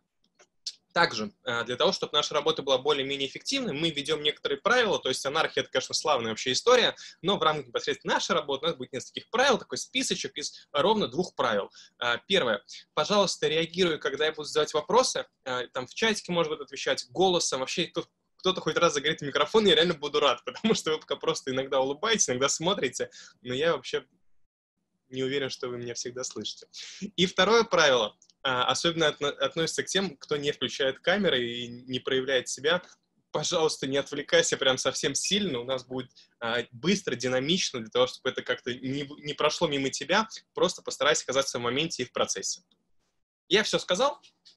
Если все понятно, пожалуйста, а, напишите в чатик плюсик, вот именно плюсик, просто поставьте. Сереж, мы тебя услышали, все понятно, вопросов no. Да, у кого камера, тот может кивать головой, а, может руками поставить плюсик как говорится, ставь лайк, если тоже ставишь плюсик руками. Как будто я крест сейчас поставил и пытаюсь изгнать какого-то демона. Ладно, забыли этот момент.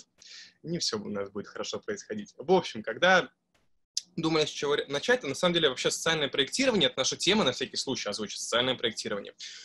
А, мы обычно социальному проектированию уделяем несколько дней для того, чтобы проработать хорошо и качественно проект. Поэтому, когда мне написали организаторы, сказали, «А, Сергей, вот вы приличный человек, бы, можете что-то у нас... О, в чате, кстати, тоже, тоже есть Сергей. Это не я, но у него очень красивое имя. Сереж завидует себе. Так вот, а, когда мне написали организаторы, сказали, что Сергей, вроде вы приличный человек, давайте вы нас проведете вот блок по социальному проектированию. Я сказал, да, конечно, а сколько времени? Там 3 часа 6. Мне сказали, у вас будет примерно 50 минут. Я такой, в смысле? Вот, а, поэтому сейчас мы постараемся это все ужать, и для меня будет, в общем, важно э, заинтересовать тебя и рассказать какие-то основные тезисы. Не так, чтобы мы прям проработали какие-то проекты, конечно, нет, но какие-то общие моменты я расскажу. И начнем мы запросы, как вообще все это работает, как работает социальное проектирование и так далее. А можете, пожалуйста, поставить а, буковку «щ» в чат, если вы примерно понимаете, что такое социальное проектирование, и ноль, если не понимаете. Вот «щ», если понимаете, и ноль, если не понимаете. Ну, либо руками можно показать ноль и «щ», ну, вы понимаете, как «щ» показать руками. А, ноль не понимаете, «щ» какое-то представление имеете. Э, ребята, мы с вами просто специалисты. Это супер. Тогда я поделюсь своим вот взглядом, своим мировоззрением. Итак, смотрите. Э, социальное проектирование. Э, есть очень разное определение вообще слова «проект». Мы сейчас... Знаете, кто это? Кто это? Что это за человек? Можно ответить там тоже в чате. У него есть такая фамилия. Его зовут... Его зовут... О, Полин, спасибо большое, все верно. Это Антон Павлович Чехов, и у него есть много известных цитат, в том числе есть цитата, что «кратко сестра таланта». Сейчас я вам покажу самое простое определение слова «проект», которое мы вообще смогли, э, так сказать, создать. Это проект — это проблема, решенная по расписанию. То есть есть какая-то проблематика, и она решается по расписанию. Сейчас мы вкратце рассмотрим каждую составляющую этого определения. Первое — это проблема, второе — решенное, третье — расписание. А, почему важны всегда именно проблемы, как такое начало. Потому что на самом деле часто проекты делаются не для того, чтобы решить проблему, а начинается там сидеть, типа, блин, ребята, я сделаю очень крутую штуку, а потом ты думаешь, а зачем я вообще ее делаю? И если так копать глубоко, оказывается, что не всегда люди понимают, зачем. Поэтому всегда важно начинать именно с проблематики. При этом, что такое вообще проблема? А, проблема — это очень интересная вещь. Вот смотрите, а, я, например, пришел в магазин, и купил себе молоко. В каком случае купленное молоко будет для меня проблемой? Вот в каком случае купленное молоко будет для меня проблемой? Как думаете? Просрочка. А как я пойму, что оно просрочено? Скисло, да? Как я пойму, что оно скисло? Запах. Угу. Угу. Вкус а откуда я знаю, как должно быть? Ну, то есть вот я, например, купил молоко первый раз в своей жизни, оно скисшее. Решу ли я? По поводу даты вообще интересная вещь. В моей жизни бывали такие случаи. Отравление, Соня, ты прекрасно мыслишь. Если я отравился, знаешь, это для меня проблема. А, мне нравятся ваши мысли, они такие э, логичные, но на самом деле, по-хорошему, а, проблема — это противоречие между тем, что есть, и тем, что хотелось бы. Я поясню. Если никогда в своей жизни не покупал молоко, и я купил, и оно кислое, я буду его пить и даже не подумаю, что это молоко неправильное. Я просто подумаю, ну это, наверное, обычный вкус молока, что тут можно подумать, потому что у меня нет другого опыта. Но если я тысячу раз в своей жизни покупал молоко, и я знаю, какое оно, какое молоко я хочу получить, и понимаю, что оно кислое, для меня становится проблемой. То же самое в нашей жизни. Например, вот э, жил я у себя там в доме и никуда особо не ездил. И считал, что мой двор, он прекрасен. А потом, предположим, я поездил по другим городам и увидел, как дворы устроены в других городах. Я понял, что с этого момента, оказывается, мой двор стал проблемой, потому что в сравнении с другими дворами он смотрится не очень-то клево. То есть проблема — это всегда очень субъективная история, которая основана на тем, как я хочу, и тем, что есть сейчас. Пример, да, там сам простой, то, что принес в 19 век, ожидание, то, что он будет на балах, но, скорее всего, он будет там крепостным крестьянином, будет где-то работать, и это для него становится проблемой, потому что ожидание одно и реальность совсем другая. А, на более простом примере. То, что наверняка знакомо всем, это дороги. Дороги, я думаю, точно всем знакомы. У нас есть ямы на дорогах. Это наша проблема. Да? Хоч, хотим, чтобы было, соответственно, идеально. Вполне логичное желание. Возникает логичный вопрос, а что с этим делать? И тут начинают рождаться идеи. Что такое идея? Ну, здесь тоже весьма логичное определение. Идея — это некий мысленный прообраз чего-либо. То есть мы представляем, как оно будет. То есть, когда мы представляем эту гладкую, ровную дорогу, это как раз идея того, к чему мы хотим прийти. В рамках социального проектирования как строится идея. То есть у нас есть проблема, есть желаемый результат, и вот мы сидим и думаем, так, чтобы, чтобы, чтобы придумать, и рождается наша идея. Например, первая наша идея – это закопать ямы картошкой, либо сделать нечто подобное. Это первый такой этап, после чего иногда рождается хорошая идея. Иногда все заканчивается на первом этапе, где наша идея закопать яму картошкой кажется идеальной, но концептуально раз, раз, раз, раз, раз, и потом рано или поздно рождается некая хорошая, славная идея. И есть план, да, то есть проблема, решенная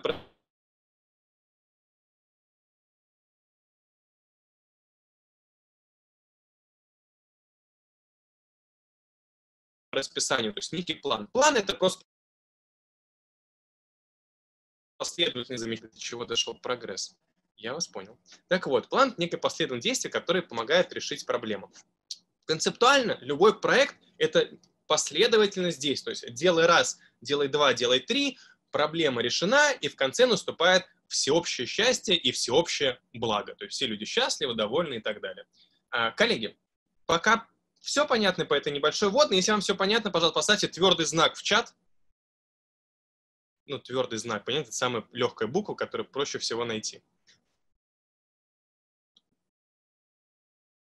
Супер, твердые знаки в чате. Очень приятно. А, и твердый знак написала мне Соня. Надеюсь, это значит твердый знак, а не то, что я сейчас ничего не поняла и думаю, а что происходит. Движемся дальше.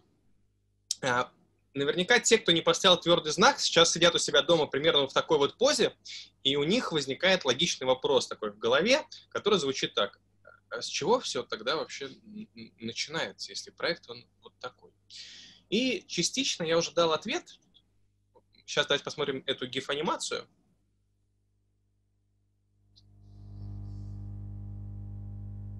Вопрос. А кем эта славная птица является для мальчика. То есть он выходит на бой с птицей, уверенный в своих силах, но неожиданно птица становится для него чем? Ну, с того, с чего все начинается. Она становится проблемой. Абсолютно верно, Соня. И все у нас начинается обычно с проблемы. И сейчас мы на некоторых примерах рассмотрим, как вообще э, с проблемой можно работать. Но сначала я вам покажу два примера а, о том, почему важно с проблемой работать и что бывает, когда с проблемой работают неправильно. Кто-то знает, к чему относятся вот эти вот а, плакаты? Есть? Ой, не туда. Кто-то знает эту историю? Угу. Давайте я расскажу. Жил-был Китай. Середина 20 века. А, в Китае много людей, и у них не всегда хватало еды. Поэтому многие люди жили в проголодь. Стали люди думать на тему, что, собственно говоря, приводит к тому, что у нас так мало посевов. И они нашли проблему. Оказалось, что больше всего посевов страдает из-за птиц, а, конкретно воробьев, крыс и некоторых насекомых. Ну, да, там, комаров, мух. И Китай объявил национальную войну воробьям может быть, вы про это слышали, Китай стал массово заниматься истреблением воробьев. Такие плакаты были по всему Китаю. Э, эффективность чиновникам, чиновников измерялась тем, сколько воробьев было убито в его там ведении. А, детей привлекали, то есть всех. И Китай в этой войне победил. Воробьи на территории Китая были почти полностью истреблены. Соответственно, прошел год, на следующий год стали смотреть, что происходит. И оказалось, что и правда, ну, то есть урожая стало чуть больше. Люди такие, да, мы молодцы. Чиновники сказали, мы крутые, мы убили столько воробьев, сколько вам и не снилось. А еще через год произошла одна из самых серьезных голодовок в истории человечества. По одной простой причине. Почти весь урожай э, был уничтожен саранчой и гусеницами, естественными врагами которых являются воробьи. То есть из-за того, что система была изменена, появилась более серьезная проблема для Китая – и другие страны скидывались Китаю воробьями, чтобы вы понимали. То есть, например, приезжал поезд там из Советского Союза, полностью забитый воробьями. Их просто выпускали и говорили, воробьи, пожалуйста, размножайтесь чтобы у нас все стало хорошо.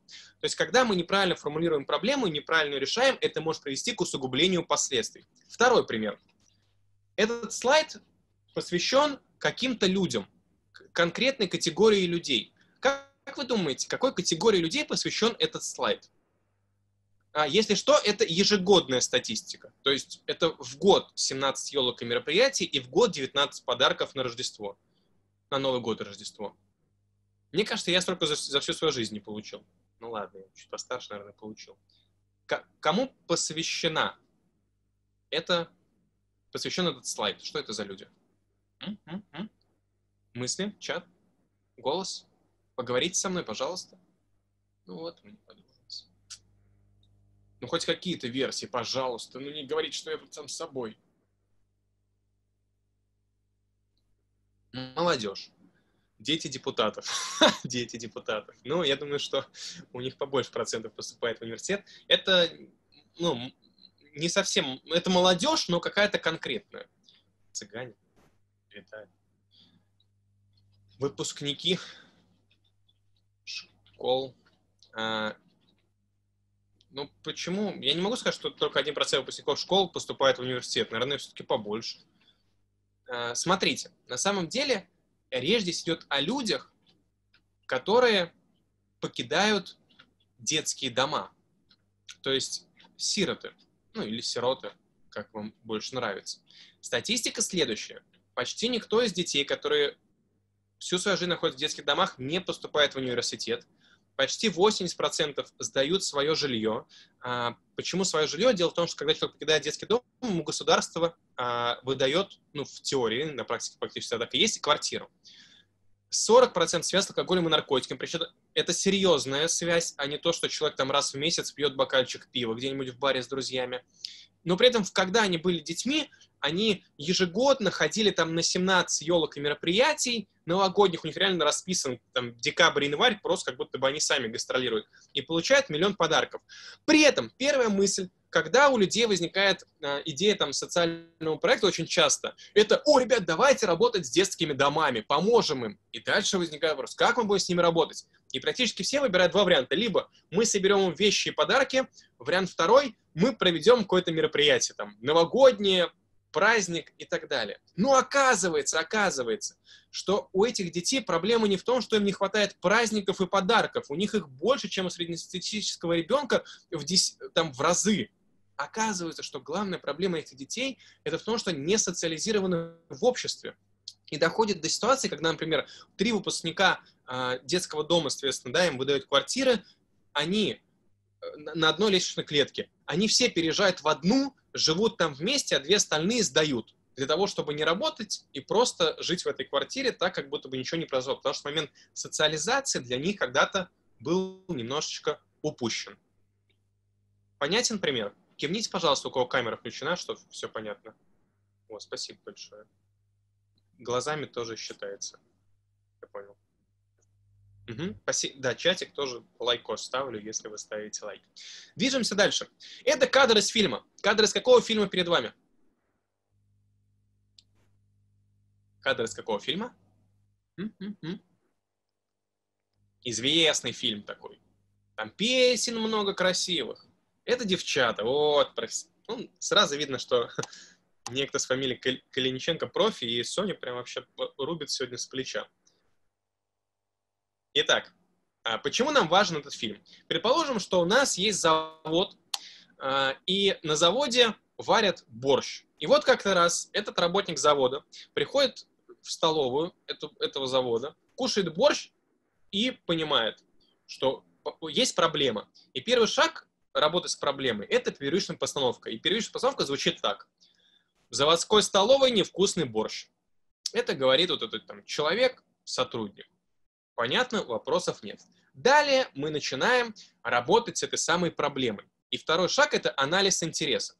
Как мы уже говорили, проблема исключительно субъективна. Он может считать, что проблема существует, а другие люди, например, что ее не существует. Поэтому он проводит опрос, как такой самый простой инструмент, и он говорит, 87% опрошенных рабочих считают проблему борща актуальной. Внимание, вопрос. Что некорректно вот в этом выводе? Что здесь стоит изменить? Подумайте чуть-чуть, что стоит изменить? Типа, ну, реально мутный какой-то вывод. Почему он мутный?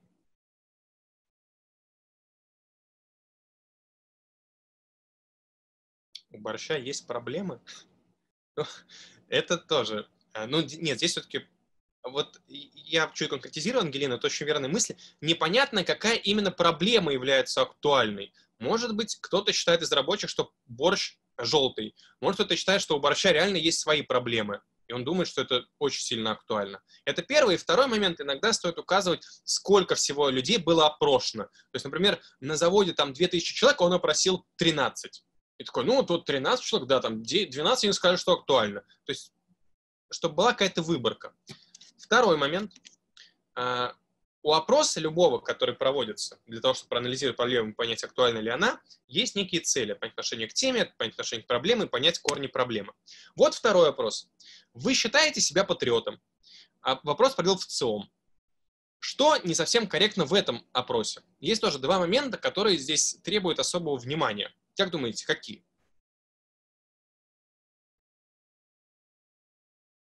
На что бы здесь стоит обратить внимание? А, верное замечание Сони, не просто патриотом да чего, а что такое вообще патриотизм? Для всех он разный, здесь тоже субъективное такое мнение. И второй момент, есть опросы с так называемым социально предсказуемым ответом. Я поясню. Да, количество людей тоже не указано, согласен. А, так вот, опрос с социально предсказуемым ответом. Поясню. Если я иду, например, домой вечером по улице, а я живу на окраине Питера, и у нас тут порой сомнительные вещи происходят, и вдруг ко мне подходят три человека и говорят, слушай, ты патриот? Я от греха подальше искренне скажу «да» и пойду куда-нибудь. То же самое, если я спрошу вас, Э, коллеги, кто считает, что заниматься там э, спортом и что ЗОЖ это классно? Скорее всего, большинство из вас скажут, Ха, Сереж, но мы все-таки культурные люди, конечно. А, но если я буду спрашивать, а кто из вас при этом занимается спортом и там ведет ЗОЖ, люди скажут, кто-то. Вот, поэтому есть, скажем так, социально предсказуемые ответы. Что можно делать для того, чтобы таких вещей не было? Вот примеры. Как можно этот вопрос разбить на более конкретные? Да, это знание истории России, знание национальных символов, служба в армии, налоги, выборы, хотите ли уехать и так далее. Это просто пример. Ни в коем случае не то, что вот так правильно, но концептуально любой общий вопрос, опрос можно разбить на более частные. Едем дальше. Когда мы, в общем, провели более детальные исследования, мы выяснили, что 8%, 87% опрошенных считают, что борщ невкусный из-за избытка соли, и далее делается вывод, который говорит, собственно говоря, о социальной проблеме. Поэтому люди уходят к станкам злые и раздраженные, то есть качество их работы снижается. Если просто было, ну, типа, ну, невкусный борщ, это еще не социальная же проблема, правильно? А здесь делать какой-то вывод, да, что оказывается, борщ влияет на эффективность труда этих самых сотрудников. Также оказывается, что у вопроса есть дополнительные цели. Когда мы опрашиваем людей, мы можем, а, рассказать им о проекте, то есть когда вы кого-то опросили, вы точно знаете, что человек, оказывается, будет в курсе моего проекта. И второе, есть уникальная возможность найти сторонников. То есть, когда ты опрашиваешь человека, спросить, а ты не готов, в случае, поддержать мой проект, там, репостик сделать ВКонтакте или поучаствовать, выйти там на какую-то акцию. И есть вероятность, что человек скажет, блин, да это же крутой проект, конечно, я согласен. То есть, появляется дополнительная возможность. Поэтому опрос – это штука реально полезная. Далее, поиск причин. Когда идет поиск причин, есть разные инструменты для поиска причин, но, грубо говоря, это ответ на вопрос «почему?». То есть почему в борще слишком много соли? И вот мы ищем ответ на этот вопрос, и в данном примере, например, а, формулируем следующее формулировки. Первое. Заводской столовой невкусный борщ из-за постоянного нарушения поваром готовки. То есть он технологию нарушает. Второй пример. Дело тоже в поваре, но не потому, что он специально нарушает технологию готовки, а потому, что он плачет каждый вечер над этой самой кастрюлей из-за несчастной любви. Понимаете? Из-за этого слезки солененькие, и борщ становится очень соленым. И последнее. Мы выясняем, что дело вовсе, вовсе не в поваре. Эта работа на заводе привела к тому, что у работников, сотрудников, да, изменилось ощущение солености. Ну, они на каком-то странном заводе, в общем, работают. И теперь они соль воспринимают по-другому. И исходя из того, что мы формулируем разные проблемы, мы можем предложить разные решения. Это либо изменить рецепт, либо поставить салонки, либо создать брокеражную комиссию. Брокеражную — это комиссия экспертов, которые будут оценивать, либо решить личные проблемы повара. То есть одна проблема, то, что в, большой, в столовой невкусный борщ, может быть решена очень разными способами, исходя из того, какие причины этой проблемы существуют. Все ли понятно по проблематике? А, если вам все понятно, поставьте, пожалуйста, буковку U в чат. Я вот поставлю. Как говорится, ставь, ставьте лайки и U в чат, если все было понятно. Спасибо, Егор. Супер. А, теперь, что касается самих проектов. А, социальное проектирование – это инструмент. То есть, поясню. А, инструмент, который позволяет достичь какой-то цели. И он не всегда его нужно применять. Например, для того, чтобы тебе в магазин сходить за молоком, тебе, конечно, не нужно писать там проект, продумывать все и так далее. Достаточно просто сходить в магазин за молоком. Социальное проектирование – инструмент для решения таких комплексных больших проблем. При этом когда мы, у нас, в общем, возникла да, какая-то проблема, у нас мы там накидали, на самом деле для возникновения проектной идеи важны две вещи. Первое. Вот э, Гарри Поттер и Волан-де-Морт у нас здесь есть. Вопрос, как они связаны вообще с проектами. Дело в том, что Волан-де-Морт для магического сообщества является проблемой. Да, ну то есть он реально несет какую-то угрозу, и это большая проблема. Ее необходимо решить. И Гарри Поттер, соответственно, изначально является ресурсом для решения этой проблемы. И на стыке проблемы и ресурса возникает проектная идея. Поясню. Почти все считают, что дороги в стране плохие. Ну, так, в целом. Особенно, наверное, ты думаешь, ну, везде-то может быть нормально, но вот у меня там вот есть соседний двор, там вообще борода просто. И такие дворы есть почти у каждого, где ну прям вообще борода. Считали проблемы, да, но есть у нас ресурс для решения этой проблемы? Далеко не всегда. Поэтому и проблема часто нами не решается. И всегда важно понимать, какой ресурс у тебя есть. Когда мы понимаем, что у нас есть и ресурс, и возникает какая-то проектная идея, мы начинаем с ней работать. И первое, что мы делаем, это проверяем эту проблему на... Мне очень, кстати, нравится этот кадр. А, на ее актуальность. Дело в том, что в данном примере нельзя сказать, что, у молодого, что молодому человеку требуется изолента. Однако к нему подошли, Спросили, есть ли у него изолента. Он сказал, ну нет, она, ну как бы, может быть, она просто не нужна. Но ему сказали, держи. Актуальна ли для него эта изолента? Да не факт. И очень часто проекты также и работают. То есть человеку не факт, что это требуется, но люди приходят такие, держи, ты, тебе это необходимо. Поэтому актуальность проекта проверяется, и актуальность проекта отвечает на три вопроса. Как что, где, когда, вот три вопроса, так и там. Но три вопроса актуальности — это зачем, кому и каким, собственно говоря, образом мы будем это делать. Главная загадка здесь, каким образом подтвердить актуальность, есть три ответа. А, первое, это можно провести социологический опрос, да, какое-то исследование, анкетирование. Второй вариант, можно изучить, статистику, например, для того, чтобы заявить, что где-то есть а, проблемы, не знаю, там, с употреблением алкоголя, не обязательно самому проводить исследования. Можно просто обратиться к статистике, потому что обычно собирается очень много материалов на этот счет. Сейчас там такие, такая жестикуляция идет в камере, я прям любуюсь. Надеюсь, что все хорошо. Все еще надеюсь, что все хорошо. А, и третий момент, который можно использовать, это экспертная оценка. То есть, если вы, например, заявляете проблему экологии, возможно, здесь стоит отталкиваться не только от мнения людей, но и от мнения каких-либо экспертов, которые могут произвести более четкую, конкретную оценку ситуации. То есть первый шаг – это проблема, потом у нас идет идея, третье – это мы подтверждаем актуальность идеи, и когда мы все это сделали, мы ставим перед собой цель. Цель в проекте почти всегда ставится по смарту.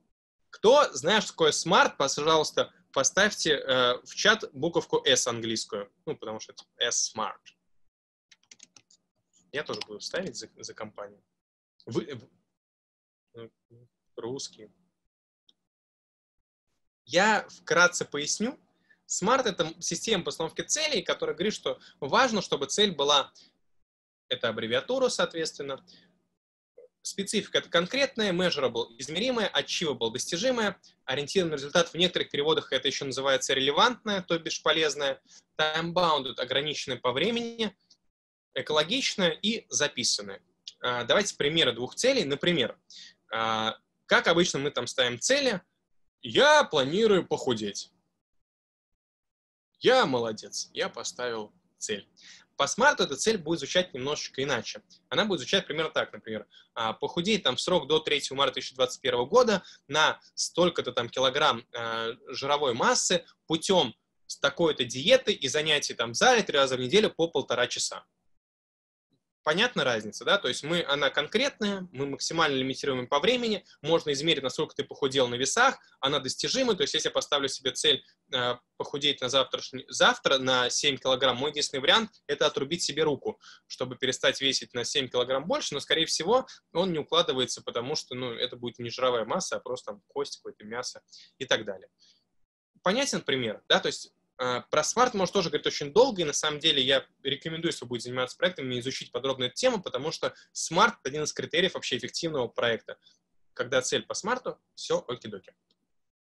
Далее, после как мы оставили цель, мы эту цель разбиваем на задачи, которые помогают к этой цели прийти.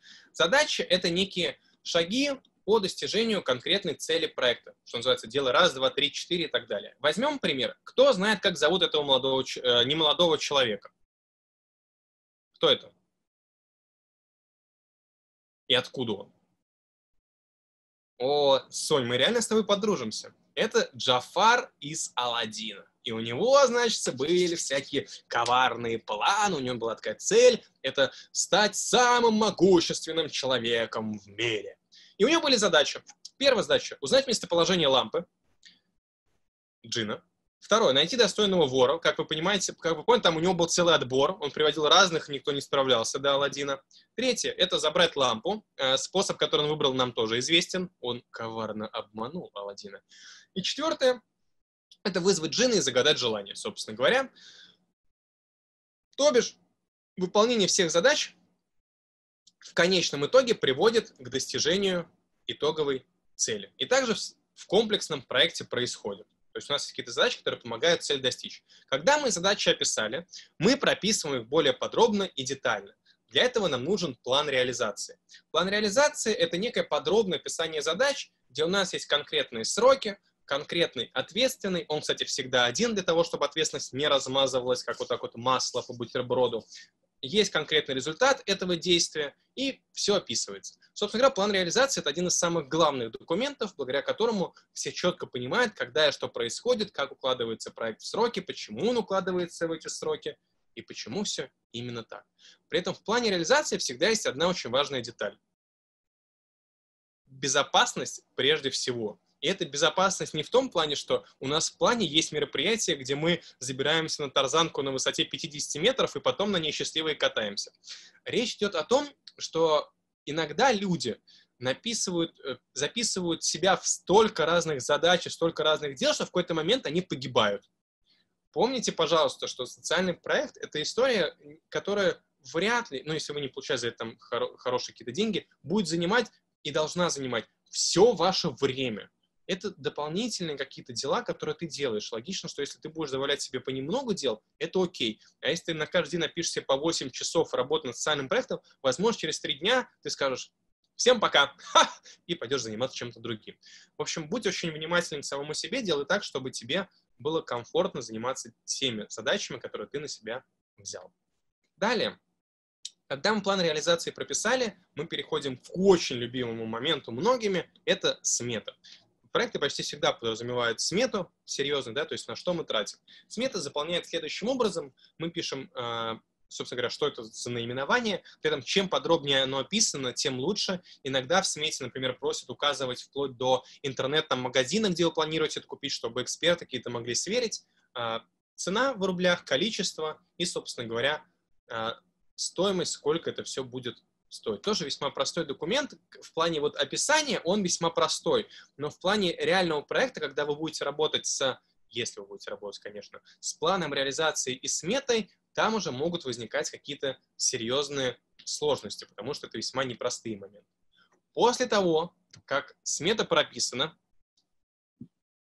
у нас есть еще один важный план, а, который так иногда называется «гадание на кофейной гуще», но в целом, если правильно по проектам называть, то это ожидаемые результаты, либо планируемые результаты, либо э, планируемые показатели или показатели эффективности.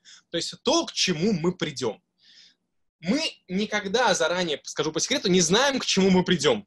Ну, потому что в жизни нет гарантии. Мы предполагаем и стараемся к этому прийти. Собственно говоря, потому проекты и ставятся, да, там конкретно измеримые цели.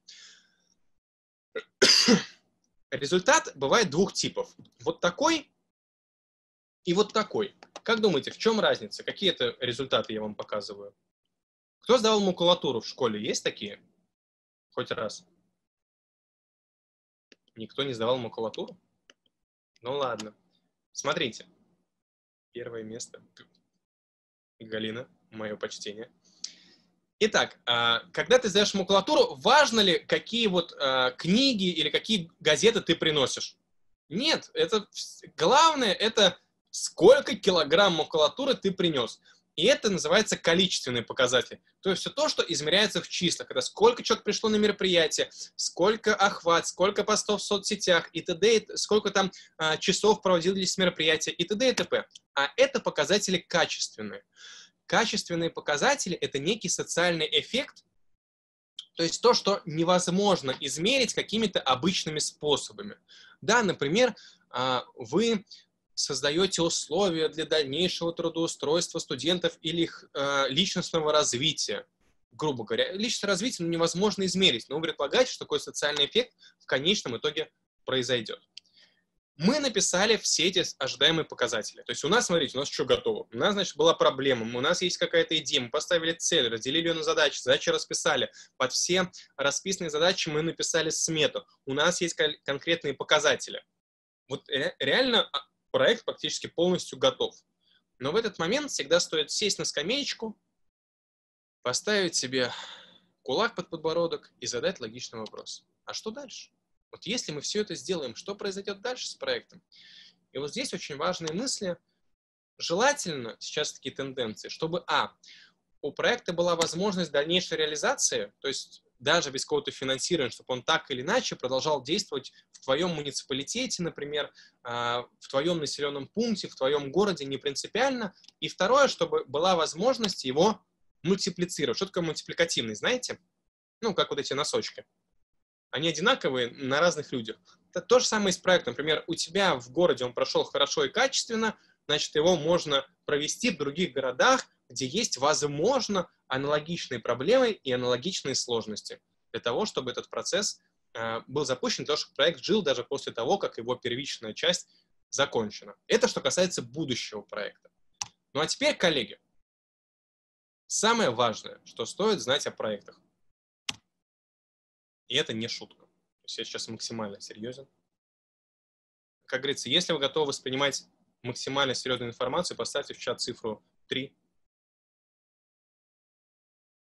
Шутки кончились. Цифру 3. Спасибо. Итак, коллеги, перед вами Билли, Вилли и Дилли. Они из утиных историй, они здесь не просто так. Дело в том, что они были сильны только тогда, когда они втроем действовали вместе и сообща. Также и в проекте есть три вещи, которым важно действовать сообща и создавать таким образом триаду проектного менеджмента. В чем она заключается? В проекте есть А – проблема, Б – суть и В – результат. Приведу пример. К нам на проект пространство развития как-то приехали участники. У них была следующая проблема. У них город небольшой, там тысячи, наверное, четыре человек, и они говорят, у нас есть проблема, люди уезжают. Это их проблема. Люди уезжают из города. Мы такие, понятно. Какая у вас суть? Что вы будете делать? Они говорят, мы будем проводить фестивали. На протяжении полугода будет проведено 4 фестиваля различных, там, спортивный, творческий, э, музыкальный и так далее. Мы такие, понятно. А какой у вас результат? Они говорят, ну, наш результат, что фестивали посетят 3000 человек. И мы такие, хм, ребят, вам не кажется это все странным? То есть проблема что люди уезжают, а результат, что люди сходили на фестивали. Есть ли прямая связь между отъездом и фестивалями? Скорее всего, нет. Во всяком случае, для нас она была неочевидна. Поэтому очень, очень, очень важно, чтобы в твоей какой да, идее проекта, в твоем проекте все эти вещи соприкасались. Проблема соответствовала результату, то есть результат полностью закрыл проблему, а суть помогала достичь этого результата. И когда это происходит, появляется Чак Норрис, такой говорит тебе, ты красавчик, вот сейчас у тебя все хорошо, делай, чтобы все было красиво, идеально. А сейчас, коллеги, мы сделаем одно важное событие. А, мы посмотрим мультфильм. Э, надеюсь, что все любят смотреть вообще мультфильмы, но мы сейчас его посмотрим. Что нам предстоит смотреть? Я включу вам мультик, и ваша задача понять и потом поделиться со мной либо голосом, либо можно будет делать в чате, каким образом этот мультфильм вообще связан с социальным проектированием. И связан ли он там хоть как-то.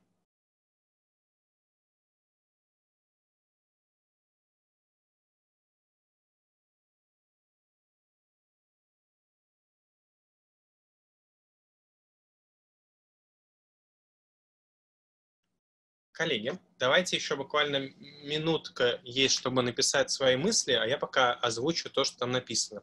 Ангелина говорит, что здесь результат не работает над проблемой. Соня предполагает аналогично. Много лишних шагов для решения проблем. Очень много задействовано ресурсов, которые не решают проблем на все 100%, цель не оправдывает средства. А проект не для всех актуален нет потребности в этом проекте, нечеткое прогнозирование, нет четкого результата, ничего себе проект, говорит нам Галина, а, нет построенного плана для ресурсов, поэтому происходит нехватка, проект не будет продолжать действие после реализации, слишком большое потребление ресурсов, и проект принес новые проблемы. Есть ли еще какие-то мысли?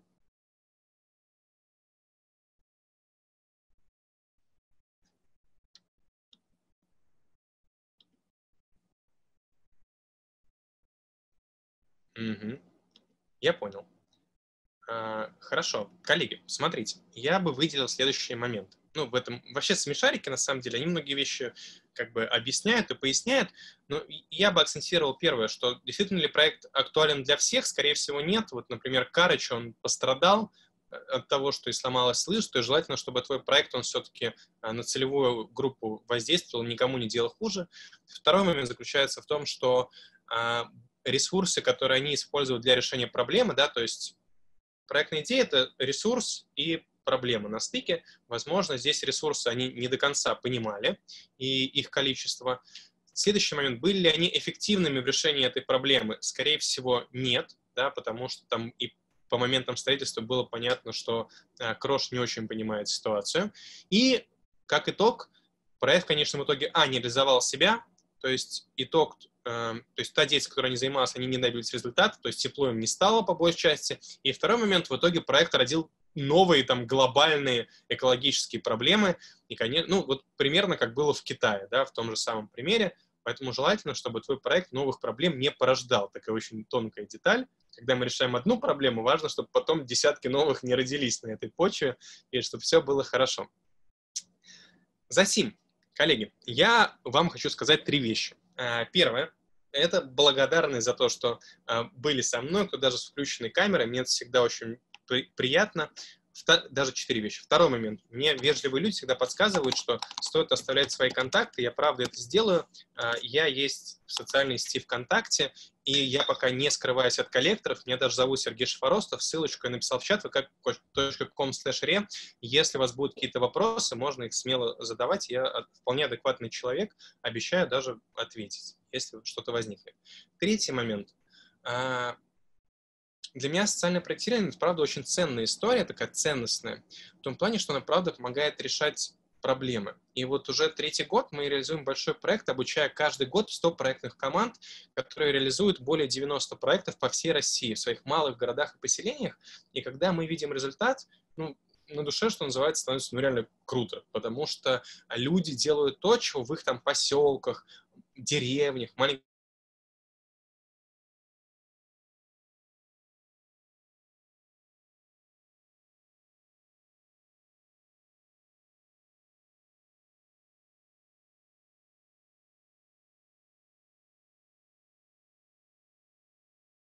упаковку есть. Есть вещи гораздо важнее, которые, ну, в которых можно применять свою славную голову. И я надеюсь, что на этом форуме ты тоже будешь применять свою голову с пользой. Засим, мой блог окончен. Ангелин, если будет вопрос, тоже можно написать в личку, мы обсудим. Все, всем пока. Желаю вам крутых спикеров, интересных знаний, конечно, применять все на практике. Все, всем пока-пока. Из зала мы спокойно выходим. Спасибо.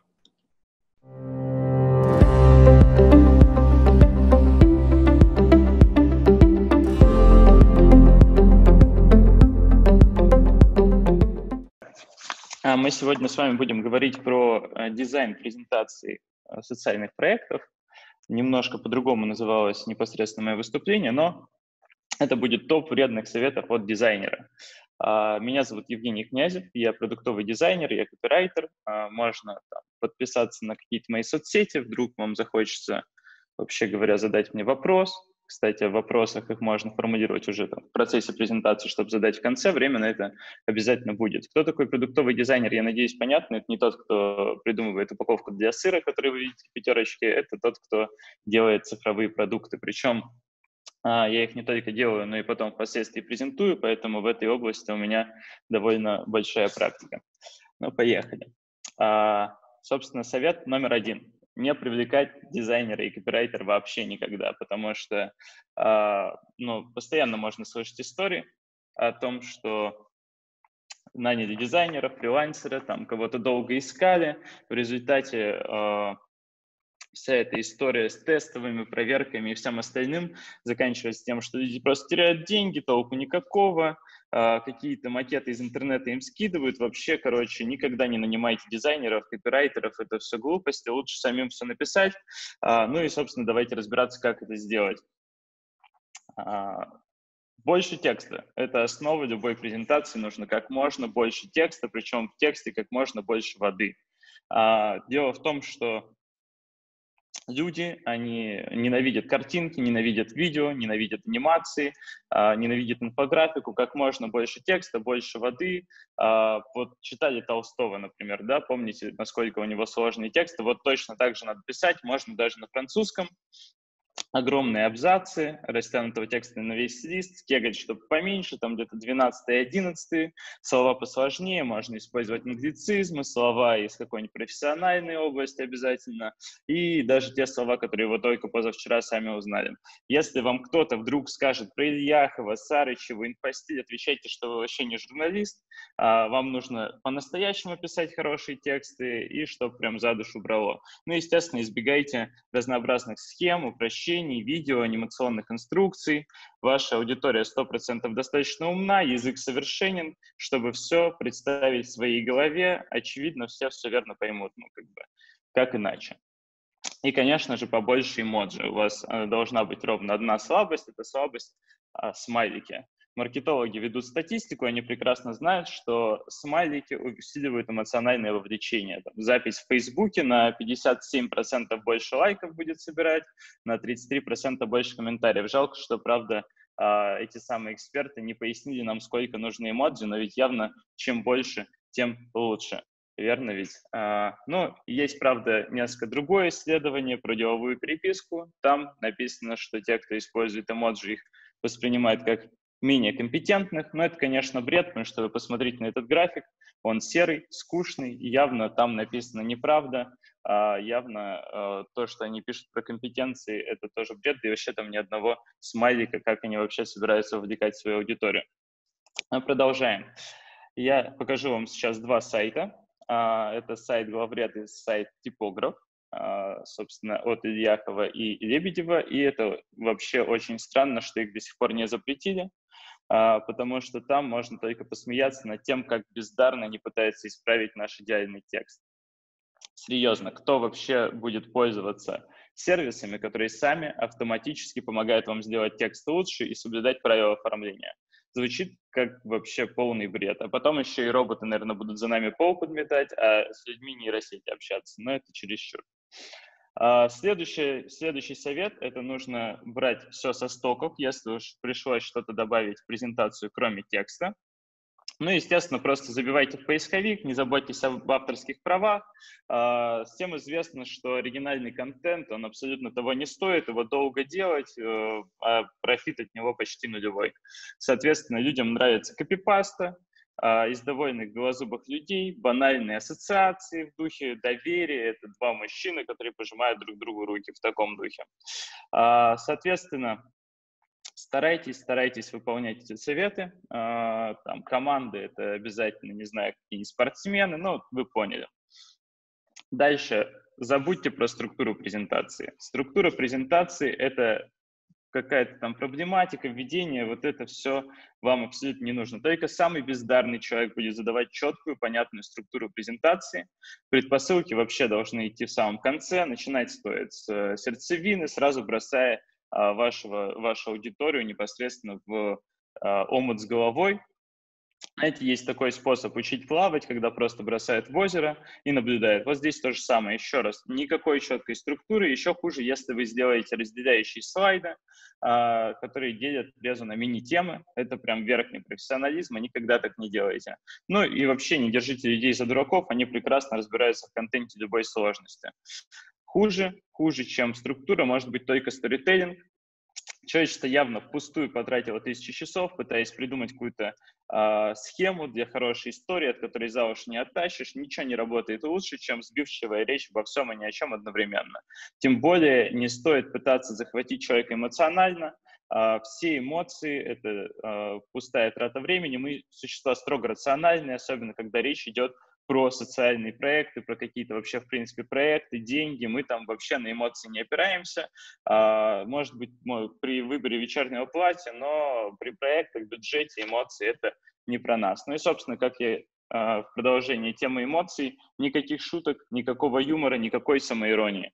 А, абсолютно точно вас воспримут как глупого, некомпетентного человека, если вы будете признавать свои ошибки, как-то пытаться разрядить атмосферу и демонстрировать стрессоустойчивость через самоиронию, если что-то вдруг на вашей презентации идет не так. Видели, например, презентации Apple, там, а, когда Siri не понимает чего-то, тысячи людей смеются, естественно, смеются над ними, а не с ними. Вот, это, конечно, позор. Ну, а если вы уж решили как-то шутить в своей презентации, то используйте что-нибудь максимально э, старое, классическое. Во-первых, шутки такие уже, они защитили себя временем, стали живой классикой, а во-вторых, нужно помнить, что оригинальный контент, он, в принципе, никому не нужен, мы с вами об этом уже говорили.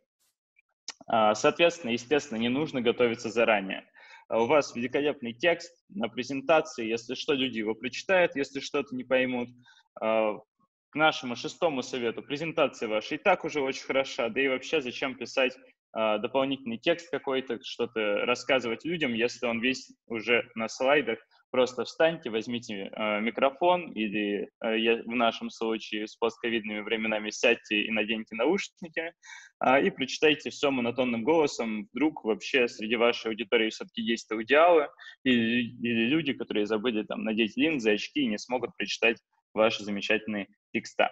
Но, само собой, никаких репетиций предварительных точно не нужно делать, потому что мы что, мы в четвертом классе, чтобы устраивать эти э, показные чтения. Я вот, например, вообще никогда не нервничаю на публичных выступлениях и вам советую.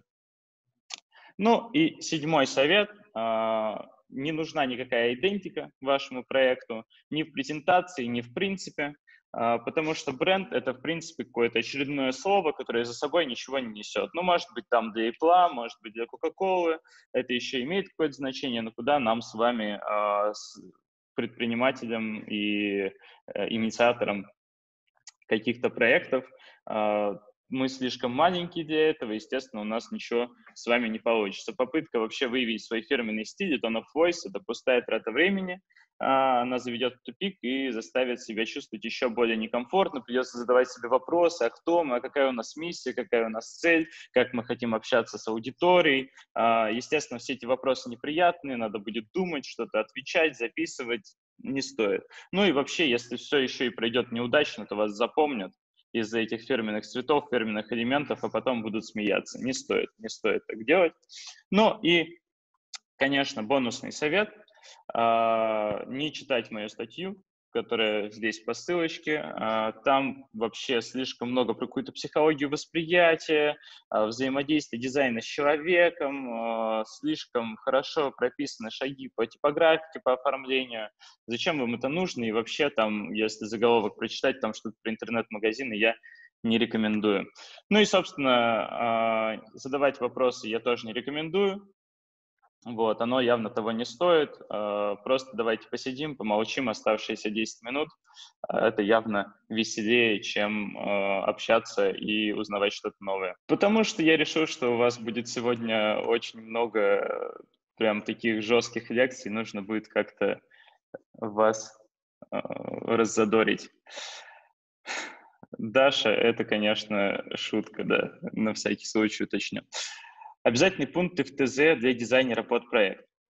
Смотрите, а, тут, во-первых, нужно, конечно, отталкиваться от проекта, который вы хотите, а, но я бы начал с того, что проработал идентику, понял вообще, для кого вы это делаете, то есть обязательно вам нужно понять целевую аудиторию, с кем вы будете работать в дальнейшем, с кем вы будете этот проект утверждать, и нужно сделать так, чтобы дизайнер это тоже понял и смог вам тогда помочь.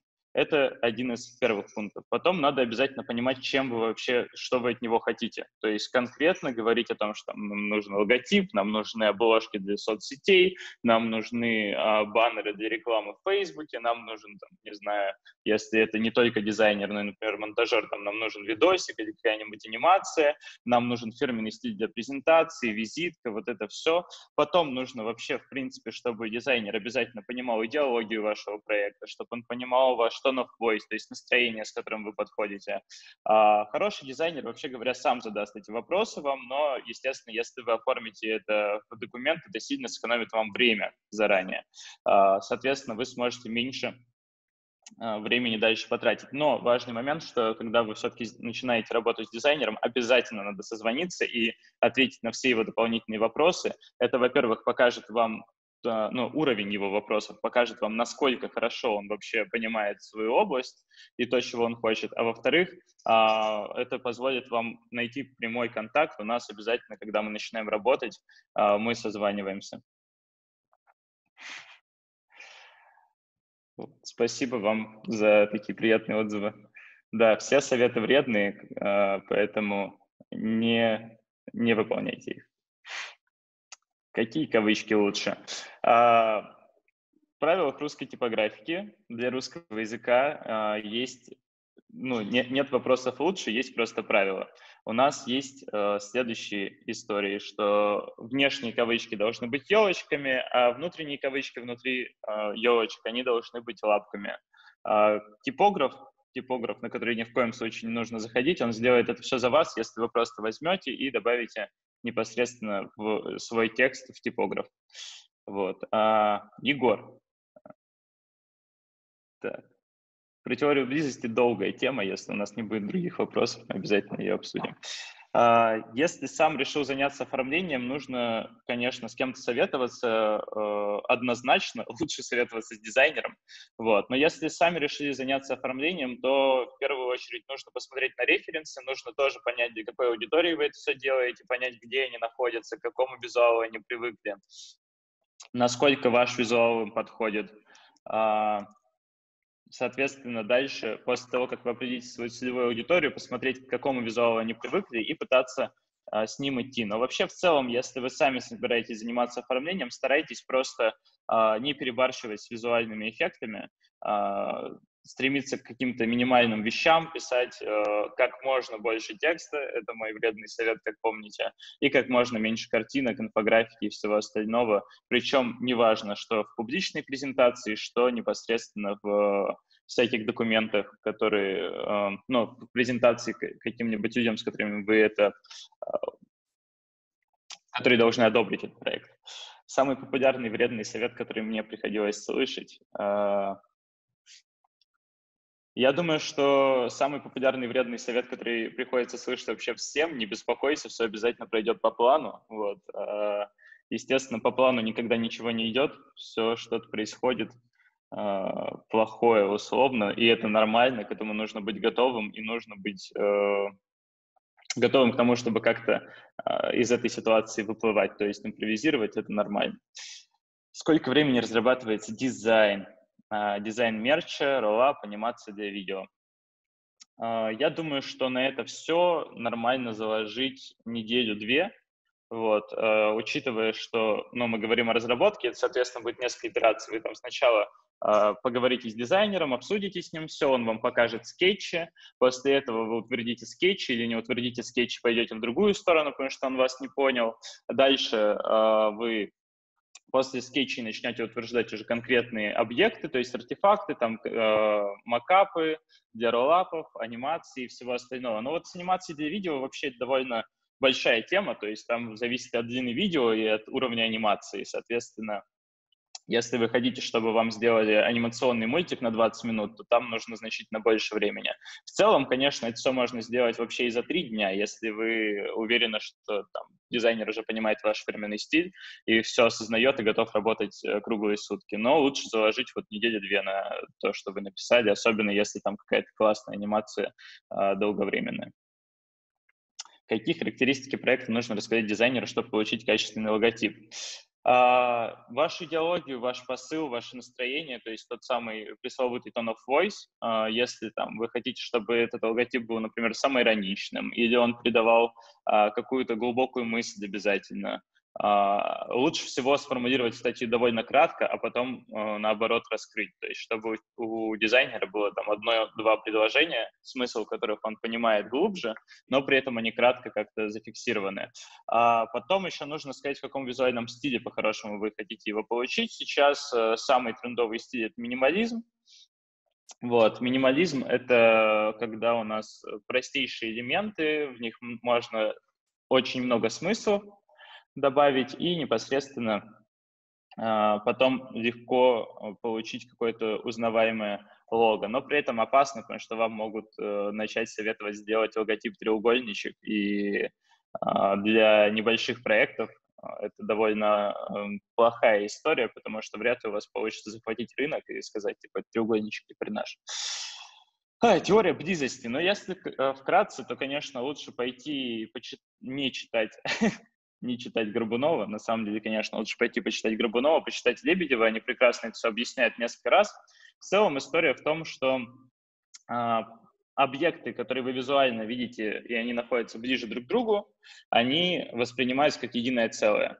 То есть, если вы посмотрите, там, например, на последний слайд, у нас довольно близко находится текст к э, моему имени, потому что это заголовок и подзаголовок. И точно так же, наоборот, подальше находятся социальные сети, а относительно друг друга они находятся ближе. Так мы делим пространство на несколько визуальных блоков. Здесь их, собственно, четыре. Это верхний э, слой, который как раз содержит некоторые фирменные элементы компании, в которой я работаю. Моджо — это а, мое имя с еще одним вредным советом, это моя фотография и мои социальные сети. Если бы мы, например, сделали а, расстояние между моим именем и подзаголовком про «не подписывайтесь на Инстаграм и не задавайте вопросы», таким же, как и от соцсетей, то тогда бы воспринимали это все как один единый блок. Соответственно, таким образом вот это э, пространство белое или черное или любого другого цвета, который у вас есть как фон, вы с помощью него можете управлять вниманием пользователя и показывать ему то, что э, взаимосвязи без непосредственно их э, их объяснение языком или текстом или еще чем-то. Люди сами прекрасно понимают, что вот это одна кучка, это другая кучка, и э, это работает хорошо. Это не вредный совет, это хороший совет. Так, у нас осталось еще 4 минуты. Насколько я понимаю, можно задать еще несколько. Тезисы психологии восприятия цветов. А, короче, очень... Да. Давайте сначала психологию восприятия, потом на 5 минут э, количество слайдов тоже расскажу. Значит, про психологию восприятия там на самом деле все сложнее, чем просто говорить, типа, синий — это спокойный свет, красный возбуждает аппетит. Это, конечно, все полный бред, потому что это контекстуальная история. Если вы смотрите на Альфа-банк, вряд ли вы а, воспринимаете его как э, банк, который возбуждает вас аппетит. Но, а, а если вы смотрите, например, на плашку со скидкой красненькую, Соответственно, а, она тоже не вызывает у вас аппетит, она просто привлекает ваше внимание, потому что красный – это цвет самой длинной а, волной, и он максимально издалека виден. Вот, а, поэтому нужно смотреть по контексту. Если у вас красный везде используется как цвет запрещения, например, то было бы глупо потом делать а, какой-то объект, которому вы хотите привлечь позитивное внимание красного цвета. Естественно, люди там привыкают к тому, что красный — это запрет, зеленый — это разрешение, это тоже нужно знать. Но в целом а, любой цвет можно использовать любым образом и придавать ему значение внутри своего собственного контекста. Это показывает нам куча всех цветов радуги вообще проектов, там те же банки, мы можем посмотреть, что какие-то синие, какие-то желтые, какие-то красные, какие-то зеленые и так далее. Это э, абсолютно никак не влияет в конечном счете на них, а влияет совсем другие вещи. Э, чтобы оценить вообще любое количество слайдов на любое время, нужно просто их сделать, а потом э, посмотреть, как много текста вы собираетесь наговаривать, с какой скоростью, и после этого э, просто поставить таймер и посмотреть, хватит вам на 5 минут или не хватит вам на 5 минут. Вот я рассчитывал на 20 минут, я на 20 минут и рассказал.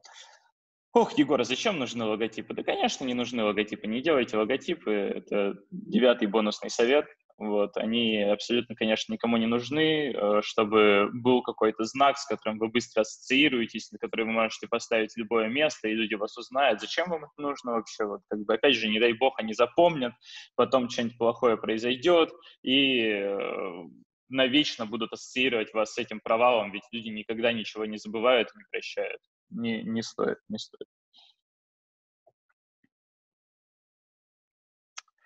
Ух, Юлия, а, ценовые категории на сайты – это очень интересный вопрос. Я думаю, что даже минут на него не хватит, потому что, во-первых, непонятно, что такое среднее качество, а во-вторых, сильно надо эм, определиться с тем, что это за сайт. Видимо, у вас что-то типа корпоративной визитки, где довольно мало взаимодействия с пользователем – вот. Я думаю, что меньше там, 50 тысяч на него точно тратить не нужно, лучше больше, конечно же. Опять же, а, есть очень много компаний на рынке, вообще digital рынок настолько сильно а, разнообразен, что в первую очередь надо смотреть на портфолио, а потом уже на ценник, и э, потом еще разговаривать и смотреть, насколько эти ребята вам, в принципе, подходят, потому что, как ни странно, о чем все забывают, эм, вам потом с этими людьми взаимодействовать не один месяц, вот, и стоило бы, ну, подольше, подольше с ними пообщаться.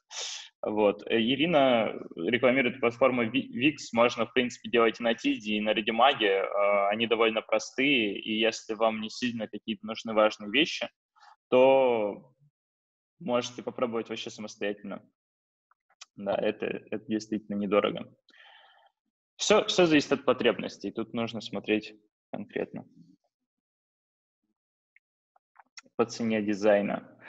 А, я не занимаюсь оценкой дизайна, если честно. Футболки, роллап, короткая анимация. Нет, я, я не рискну сейчас давать вам оценки по деньгам. Вот, все-таки маловато информации для этого пока что. Я так понимаю, что у нас закончилось время. Вот, если у нас еще время, скажите мне, организаторы. Я думаю, что надо заканчивать. Вот спасибо вам за интересные вопросы и за то, что послушали. Надеюсь, что вам это поможет. А, нет, мне дали еще две минуты. Окей, последний вопрос тогда.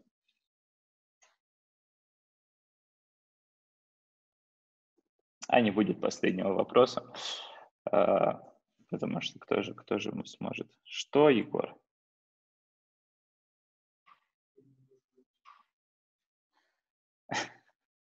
Зачем нужны статьи? Для продвижения. Ты, получается, сам ответил на свой вопрос.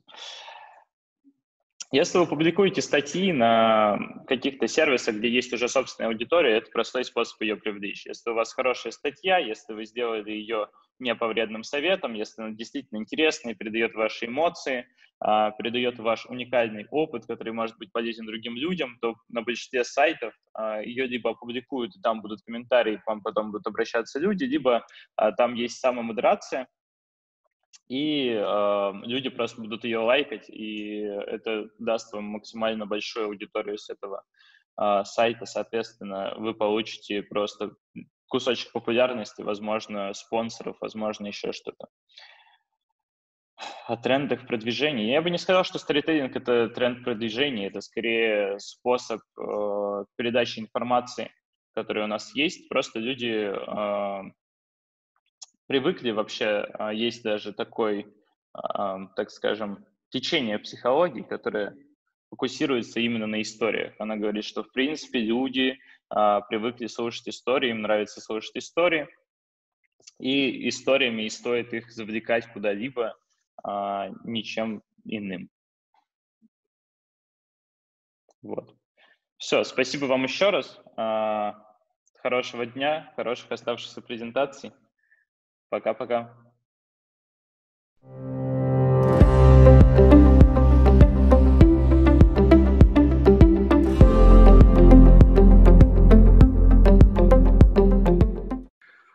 А, добрый день, уважаемые друзья, коллеги. Сегодня мы с вами поговорим об очень важных вещах с точки зрения, как ошибки превратить в преимущество, как писать проекты. Дело в том, что то, что мы сегодня с вами будем обсуждать, оно применимо, пожалуй, ко всему.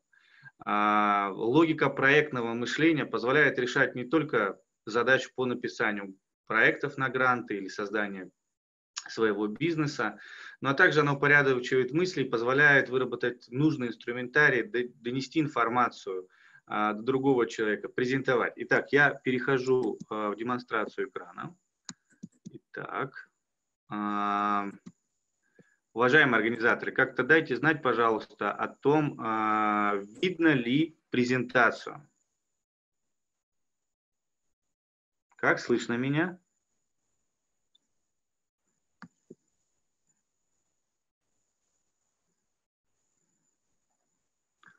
А, уважаемые участники, может быть, вы мне подскажете в чате, а, соответственно, есть ли у нас звук и видно ли презентацию?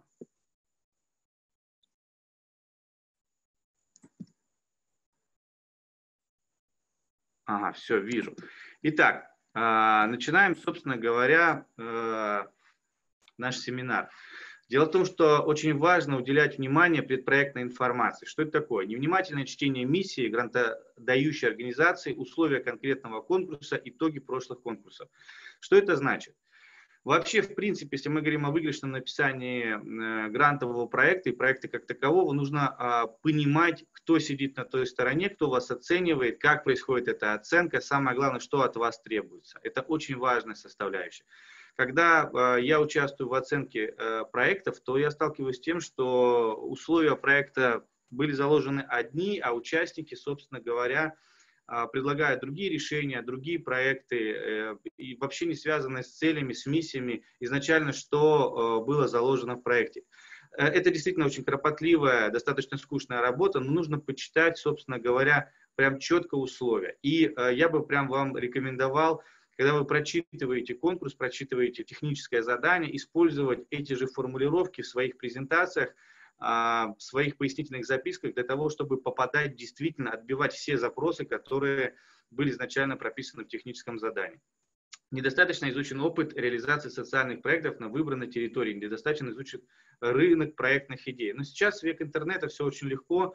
А, дело в том, что ваша идея могла быть либо уже реализована, либо есть программы, которые, собственно говоря, эту проблему, которую вы обозначили в своем проекте, решают. Поэтому происходит дублирование, и эксперты, они же э, в контексте э, конкурсной программы, они осматривают огромное количество проектов, а также изучают рынок, а также изучают э, любые возможности, чтобы полностью картину посмотреть, и, соответственно, вы также должны посмотреть, если у вас есть идея, возможно, а, от нее не стоит отказываться, раз она уже где-то реализуется, но ее можно трансформировать для того, чтобы действительно создать определенную уникальность. Несоблюдение формальных требований грантодателя по написанию заявки. Ну, это уже из разряда очень простого. И когда вы заполняете, в большинстве грантовых конкурсов есть прям готовые формы, которые нужно заполнять.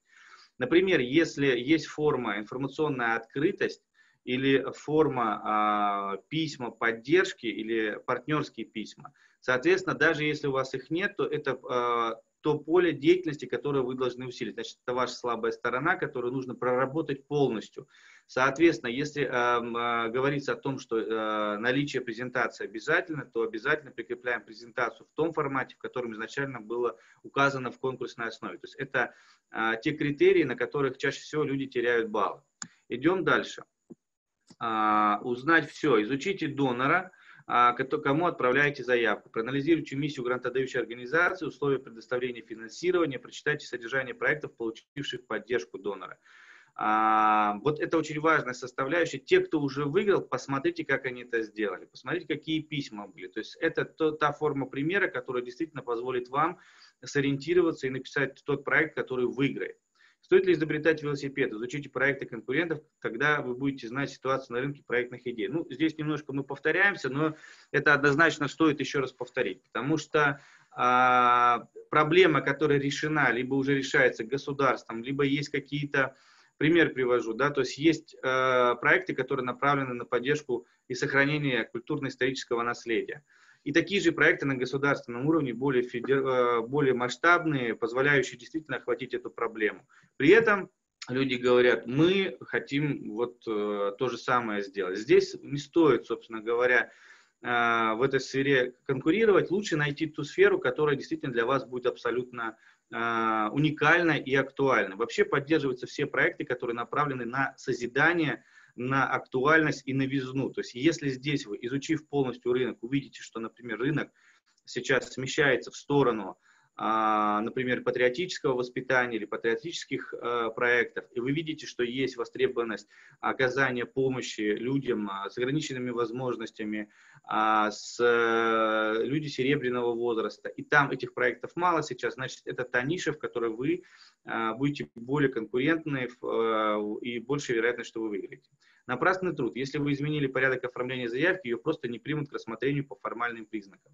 Чтобы вы понимали, здесь немножко приоткрою э, завесу тайны, когда мы находимся в состоянии оценки э, проектов, то на одного эксперта приходится очень большое количество проектов, которые приходят. Они абсолютно разные, их нужно отсматривать. И самое главное, что э, мы отсматриваем также по определенным технологиям, критериям. Соответственно, если заявка как, которую мы изначально продумывали, либо организация, которая подавала а, значит, грантовый конкурс, продумала, то ее лучше соблюдать, потому что, значит, есть в этом определенная логика а, оценивания и так далее. Когда определенно формальные признаки вы не соблюдаете, вы также на этом теряете баллы и, соответственно, не выигрываете. Вот эта предпроектная информация может показаться немножко скучной, но она и есть залог успеха, потому что в своей базе процентов 30-40 э, значит, э, баллов мы теряем именно на очень простых, легко решаемых вопросах. Идем дальше.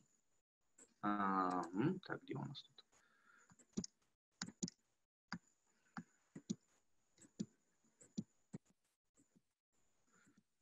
Извините, у нас ага, в обратную сторону. Давайте еще раз попробуем перезапуститься. Отлично. А, личные ошибки заявителя. А, в чем, собственно говоря, они проявляются? Проявляются они в очень простых факторах. Неточность в расчете, неаккуратность в оформлении заявок, неточность в расчете. Все очень просто. Опечатки или ошибки в расчетах могут дать повод усомниться в вашей точности, аккуратности при реализации проекта. Еще раз говорю, эксперты тоже люди, и да, одну э, заявку оценивают разные эксперты разного количества. Но э, если есть очевидные ошибки, либо неаккуратности, на них практически сразу обращают внимание, и в целом весь проект вызывает опасения, что есть определенная неточность. Лексическая и стилистическая неточность. Используйте терминологию и понятия там, где это уместно. Если необходимо, оставляйте пояснения и уточнения. Используйте простой и понятный стиль изложения. Вот на этом я прям конкретно становлюсь. А когда мы говорим о проектной деятельности, это не значит, что мы переходим исключительно на терминологию. Есть места, где без терминологии, без определенного э, профессионального понятийного аппарата обойтись невозможно. Но там, где есть э, возможность заменить простыми речевыми оборотами, которые доносят информацию э, четко и понятно, которые позволяют э, понять вашу мысль практически сразу, лучше переходить на такие формы а, подачи. Почему? Потому что эксперты при всей своей экспертности каких-то терминов могут не знать, но при этом, да, они э, проверят этот термин, они найдут его, но это тоже лишнее время. Будьте, я очень люблю такое слово, э, называется удобоваримыми. То есть э, будьте максимально понятными. Там, где можно использовать, э, э, вернее, если вы используете критерий какой-то э, или э, термин, и при этом вы понимаете, что есть возможность, что этот критерий могут не знать, делайте ссылки, делайте глоссарий. Мы очень благодарны, а, и вот сколько мы в экспертном сообществе общаемся, тем людям, которые делают отдельно глоссарий, выносят ссылки, которые позволяют действительно быстро понять, что за термин, что вы имели в виду. Итак, неточность, неаккуратность в оформлении. Пrenумеруйте страницы, соблюдайте требования донора. Но это еще раз, опять-таки, о многом. Очень классные идеи. А, действительно позволяющие решать социальные проблемы, либо действительно развивать а, ту или иную область, но при этом а, абсолютно на вещах, которые не относятся к идее проекта, к сути реализации. И вот из-за неточности и аккуратности люди выпадают или выбывают из, собственно говоря, грантовой гонки. Так, секунду.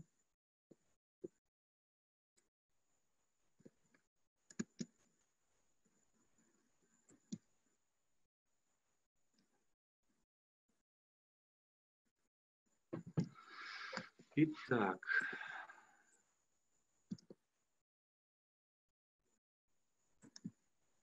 Не усложняйте, да? А, это тема, связанная с желанием показаться или преподнести проект в более такой серьезной, а, в такой, чтобы придать ему веса, да, в стране восходящего солнца, в Японии. Соответственно, там, где, э, ну, опять-таки, это нагружает текст, это нагружает восприятие, и самое главное, порой читая актуальность или э, тему проекта, к, середине уже этого текста ты теряешь суть, что, собственно говоря, что хотел э, донести автор. А самое интересное, особенно для начинающих, кто только входит в проектную деятельность или создает свои презентации, он желает развиться в той или иной сфере – чем э, человек профессиональный становится, тем проще и яснее он излагает. Вот пример простой, если смотреть, как ученые э, с таким достаточно мировым именем излагают свои идеи, свои постулаты. Очень просто. Если взять начинающих ученых, то это очень сложные э, фразы, очень сложно, сложная, сложная терминология для того, чтобы показать большую, большую, собственно говоря, профессиональную свою подготовку. Не усложняйте, будьте проще, и тогда больше вероятность, что эксперт быстрее поймет суть вашей идеи и, соответственно, поставит более высокий балл. А, ну, собственно говоря, да, сослагательное наклонение. Длинных сложно подчиненных предложений, например, здесь содействие, поддержки развития гражданской активности общественных организаций российских ветеранов войн, вооруженных конфликтов и военной службы, реализующие ветеранские информационные инициативы, взаимодействие с ветеранскими общественными организациями и так далее. Да, вот я даже это название проекта, чтобы вы понимали, да. Если мы говорим про название проекта, то название должно отражать суть, оно должно мотивировать. Это некий такой рекламный слоган, который позволяет очень быстро уловить а, интуитивно уловить самую главную идею, то, что вы хотели донести, ту пользу, которую вы хотите донести, либо вот в целом идею проекта. Ну вот когда назва и вот это название, то, соответственно, к середине названия мы уже теряем э, способность теряем возможность, грубо говоря, понять, о чем проект. Попробуйте, уважаемые участники, прочитать сейчас еще раз, о чем, собственно говоря, проект. Суть этого проекта э, достаточно сложна, поэтому избегайте таких вот, и вот это яркий пример того, как делать не надо. Итак, употребление ни о чем не говорящих для неспециалистов термин. Перманентные гибридные войны – да, еще раз повторюсь, э, эксперты знают терминологию, но чем э, больше этой терминологии, э, чем сложнее происходит восприятие. Соответственно, это дополнительные усилия на концентрации внимания. а, фраз, не содержащих конкретной информации, например, использование информационно-программных методов об обработке информации с доступом множественных источников информации. Вот скажите, о чем эта фраза? То есть если, и здесь я очень использую такой простой конкретный метод, который позволяет действительно понять, действительно правильно ли прописан текст и правильно прописана ваша презентация. Позовите своих младших братьев там, в возрасте от 8 там, до 13 лет, э, сестер, племянников, и расскажите им ваш проект. Прочитайте именно тот текст, который вы написали. Если они не поняли, о чем речь, если они не поняли конкретно, как вы будете достигать этой цели, значит, нужно дорабатывать. А, ваша, а, ваша идея, ваши мысли должны быть оформлены таким образом, чтобы они были понятны максимально а, непрофессионалам. Эксперты и так поймут. Но чем понятнее идея, чем понятнее, как вы будете это реализовывать, тем, соответственно, вы будете более конкурентными в рамках конкурсной программы. Отдельно хотел бы сказать пример, как это приводится. Вот попробуйте для себя сейчас написать а, фразу «я буду через 5 минут». Это же уже в целом устоявшийся фразеологизм. Вот для кого 5 минут – это ровно 5 а, минут, и, соответственно, вы понимаете, что человек будет через 5 минут. А, уже есть определенный некий люфт, который позволяет действительно это, эту фразу, либо недалеко. Вот это сколько? Для каждого человека недалеко это абсолютно разная а, так, еще раз, извините, мы вылетели почему-то назад, она не пролистывается. А, так.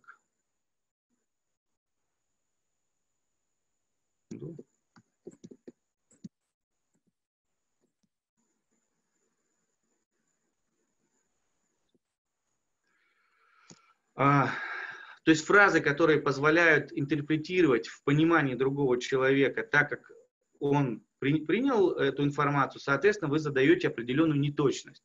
То есть недалеко, это сколько, э, это будет доступно, в каком плане, как будет доступно, через онлайн, через офлайн.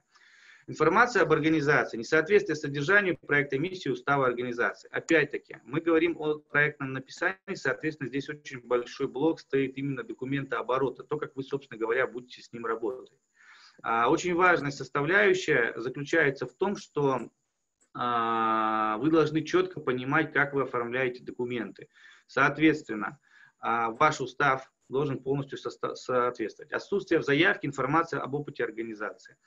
Если вы уже где-то участвовали, что-то выигрывали, обязательно об этом сообщайте и указывайте, и делайте обязательно ссылки. Смотрите, когда мы говорим, что организация выиграла тот или иной конкурс, эксперт начинает проверять эту информацию на, а, соответственно, правдивость и соответствие тому, что вы написали. Но если вы даете прямые ссылки, это становится намного проще. Не указаны партнеры организации. В современном мире реализация тех или иных проектов практически невозможна без команды. Кто вас поддерживает? Общественная организация, а, государственная организация, муниципалитеты, какой-то бизнес-партнер и так далее. Чем больше партнеров с точки зрения э, вовлеченности в проект, тут даже не количество, а качество имеет значение – тем больше вероятность, что вы получите большее количество баллов по этому э, критерию. Недостаточно полно описана команда проекта. Очень важно, что э, очень часто, скажем так, встречаешь энтузиастов, которые у них горящие глаза, э, и ты понимаешь, что ту идею, которую он двигает, невозможно реализовывать в одиночку. Нужна команда. И команда просто прописаны фамилии. Заострите внимание о том, как действительно ваша команда важна насколько они профессиональны, насколько они имеют э, тот или иной опыт в реализации проекта. Потому что проект классный, идея классно, прописана механика, но непонятно, как он будет реализован. Отсюда возникает вопрос. А, дав высокий балл этому проекту, этот проект действительно притворится в жизнь? Или все-таки останется на уровне идеи, мы получим большую проблему в виде отчетных документов и так далее. То есть, когда мы видим сильную команду, когда мы понимаем, что есть прям четкое понимание, как мы будем это реализовывать, а, мы э, даже можем закрыть на какие-то нюансы э, глаза, потому что мы понимаем, есть кому реализовывать, и мы понимаем, что проект может быть доработан. Идем дальше. Цели и задачи должны соответствовать направлению деятельности организации, закрепленной в основном документе организации. Мы проговорили. А, соци... НКО должно иметь как минимум страничку в социальных сетях, обязательно прикрепляйте ссылки на публикации вашей деятельности отчета. Значит, э, очень важный момент, когда мы отсматриваем. Некоторые обращаются за помощью, говорят, ну вот у меня же есть социальная страничка, у кого-то лендинг есть. Мы начинаем заходить на эти информационные каналы и понимаем, что информация, которая там опубликована, она двухгодичная, трехгодичная, то есть когда-то была создана. Понятие информационной доступности еще входит такой критерий, как актуальность и свои, ну, современность. То есть мы должны видеть о том, что организация работает, что информация публикуется не просто для галочки, а она используется, есть комментарии, есть какие-то репосты. То есть живая э, информационная страница, которая действительно позволяет сказать о том, что э, вы действительно проработали, действительно имеете право дальше реализовать проекты. Опыт команды, ну, это я уже с вами проговорил. Итак, идем дальше. У нас есть доказательства, но вам их не покажем. Очень распространенная ошибка, когда а, люди ссылаются, говорят, э, мы основываемся на статистике.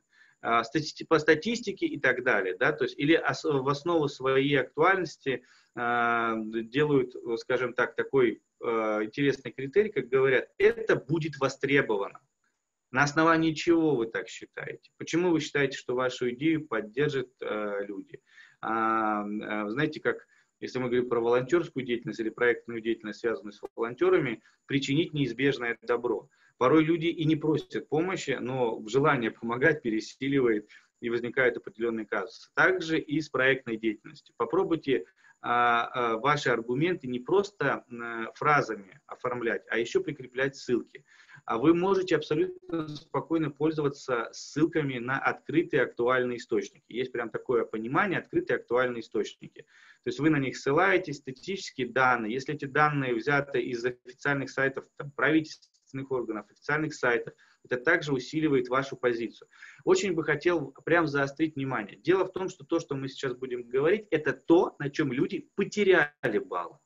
Каждая страничка этого, этой презентации – это то, из-за чего люди не прошли дальше. То есть очень прошу вас внимательно отнестись к очень даже порой скучным, рутинным форматам, но это дополнительные баллы, которые вы складываете в копилку, и в итоге у вас либо победа, либо не хватает баллов. Идем дальше. Вот, мы переходим к, скажем так, моей болевой точке, когда я оцениваю. Актуальность проекта и проблема. То, что мы, любой эксперт практически с этого начинает. Описано общими фразами, без привязки к территории проекта, без использования данных статистики и исследований. То, о чем мы с вами проговаривали. Пожалуйста, формулировки должны быть конкретные, реальные. При постановке проблемы используйте количественные и качественные показатели. Чем четче вы проговариваете, например, здесь недалеко находится ну, из жизни, да, вас остановили на улице, где продуктовый магазин. Недалеко. Сколько? То есть в данном случае нужно писать, в 300 метров находится магазин. Если мы говорим, что а, мы хотим действительно использовать качественные показатели, то мы говорим о том, что мы, например, я не знаю, там, обучим 25 человек, мы, а, э, значит, сделаем там 50 брошюр, мы отработаем 45 семей и так далее, и так далее. То есть чем лучше прописано с точки зрения целевых показателей, это э, э, цифровые показатели, тем понятнее становится. Следует избегать слишком общих глобальных проблем. А мир во всем мире это отличная идея, но очень сложно понятно, как к ней подступиться, и самое главное, как ее реализовать. Желательно, чтобы в формулировке присутствовала только одна проблема. Если в рамках проекта возможно решить несколько проблем, то их стоит разбить на отдельные формулировки и соединять в одну. Это о чем я говорил. Когда есть прям сплошняком написанный текст, и мы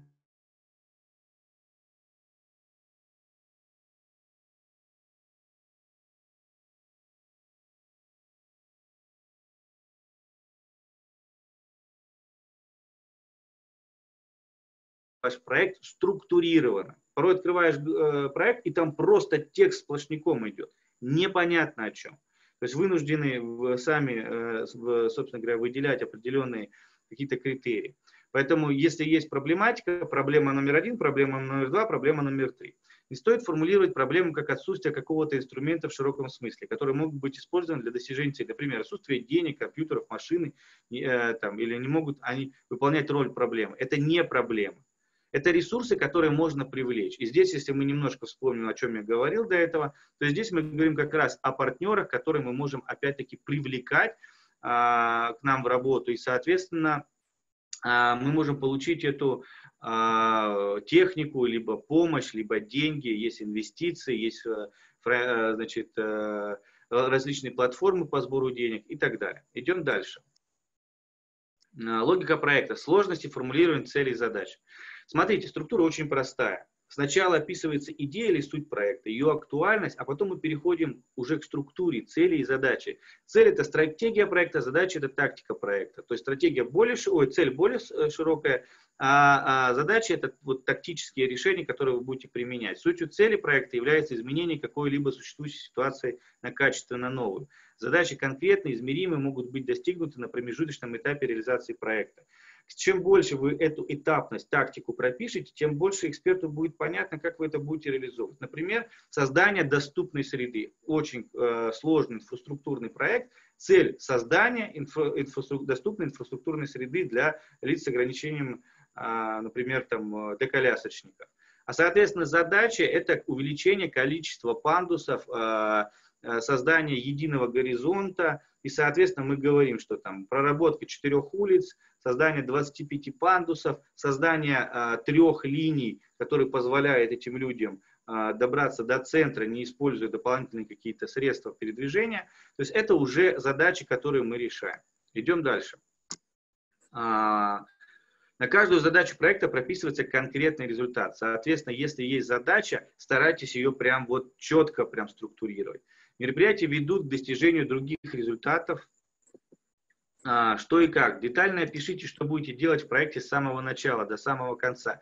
Все мероприятия должны быть полностью соответствовать задачам, которые вы поставили. А теперь как это сделать? Все очень просто. Вы на листе бумаги расписываете задачи и теперь просто прорабатываете путь. Вы мысленно, ментально просто представьте. Итак, вам дали деньги. Вы выиграли проект. То, что вы хотели. Вот все, что вы попросили, вам дали. Что ваши действия какие? И здесь очень важно не просто подумать, а и записать. И вот это и есть дорожная карта или тот маршрут, который позволит вам полностью реализовать этот проект позадачно. Это крайне сложная работа. И вот если мы говорим о механике выполнения этой работы, то все очень просто. Вы садитесь перед чистым листом бумаги. Вам дали деньги, идете от обратного что вы делаете, кому вы бежите, кто первый начинает э, делать. И прям начинаете э, шаг за шагом прям это прописывать. Тогда и вам логически будет понятно, что делать. Вот прям конкретный пример. Вам сию секунду упала та сумма, которая, на счет которую вы попросили. Миллион, два, три, пятьсот, сорок тысяч, там, не знаю, сколько угодно. Что вы делаете дальше? Ответьте на этот вопрос и самое главное, запишите. Очень важная составляющая в написании – это то, уровень когнитивного а, восприятия и уровень навыка. А, хорошо было на бумаге, да забыли про овраги, да, но здесь можно это отнести к тому, что классная была идея в голове, и это действительно взрыв, и это действительно мы меняли. Как только мы приступили к реализации, мы не учли пятое, десятое, четвертое и так далее. Как только вы мысленно пройдете по, по этому маршруту, все станет ясно. Когда? Укажите порядок и время исполнения ваших мероприятий. Иногда имеет смысл представить календарный план мероприятий. А, есть еще такое понятие СМП, суточно-месячный план. Это вообще классная тема, когда вы раскладываете ваш путь, соотносите его с задачами, с количеством, качеством и время. А, главный смысл, скажем так, проектной деятельности – это локализация по времени. А, так, так, так, вверху есть кнопка. Ага, значит, это вопросы были. Если есть вопросы, задавайте. Я, кстати, по ходу презентации сразу же на них могу ответить. Можно приводить свои конкретные кейсы. А время является тоже значимым показателем, то, как вы понимаете. Вот представьте себя на месте эксперта. Опять-таки, а, если мы говорим механистически, как прокачать свой проект, первое, вы прогулялись полностью маршрут от получения денег до его полной реализации и отчетов, грубо говоря. А второй момент, вы эксперт. И, соответственно, вы начинаете оценивать э, этот момент. И время – это самый главный, один из главных, пожалуй, показатели, которые позволяют понять, вы в контексте этой проблемы, вы понимаете это вот, на, то есть вы четко понимаете, на это время хватит. Если мы говорим о доступной среде, мы же говорим, что это не за месяц, не за два. И некоторые инфраструктурные проекты длятся годами, потому что это сложно, это коммуникация, это согласование. Например, мы придумали классные пандусы, мы придумали классное значит, единое пространство, но при этом мы забыли, что эта земля принадлежит городу, проект, например, федеральный, идет процесс согласования и так далее. И мы не выделили вообще в этап документооборот, согласование проектной сметы, там, проектной документации и так далее. А это очень важно и очень много. Идем дальше. А, так, секунду. Ага. Так что ж такое-то? Почему у нас... А, вот, попробую назад. Ага. Цели и задачи, логика, когда. Вот. Теперь бюджет. Это очень странный предмет. Он есть, то его сразу нет.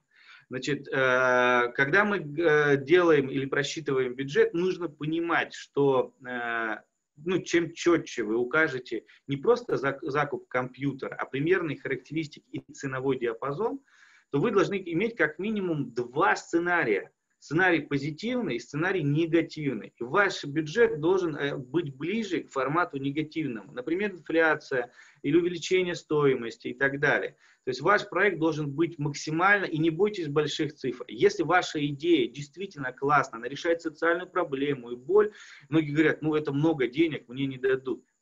Исходите не из того, что дадут или не дадут, это много или немного, соотносите это с решением задач.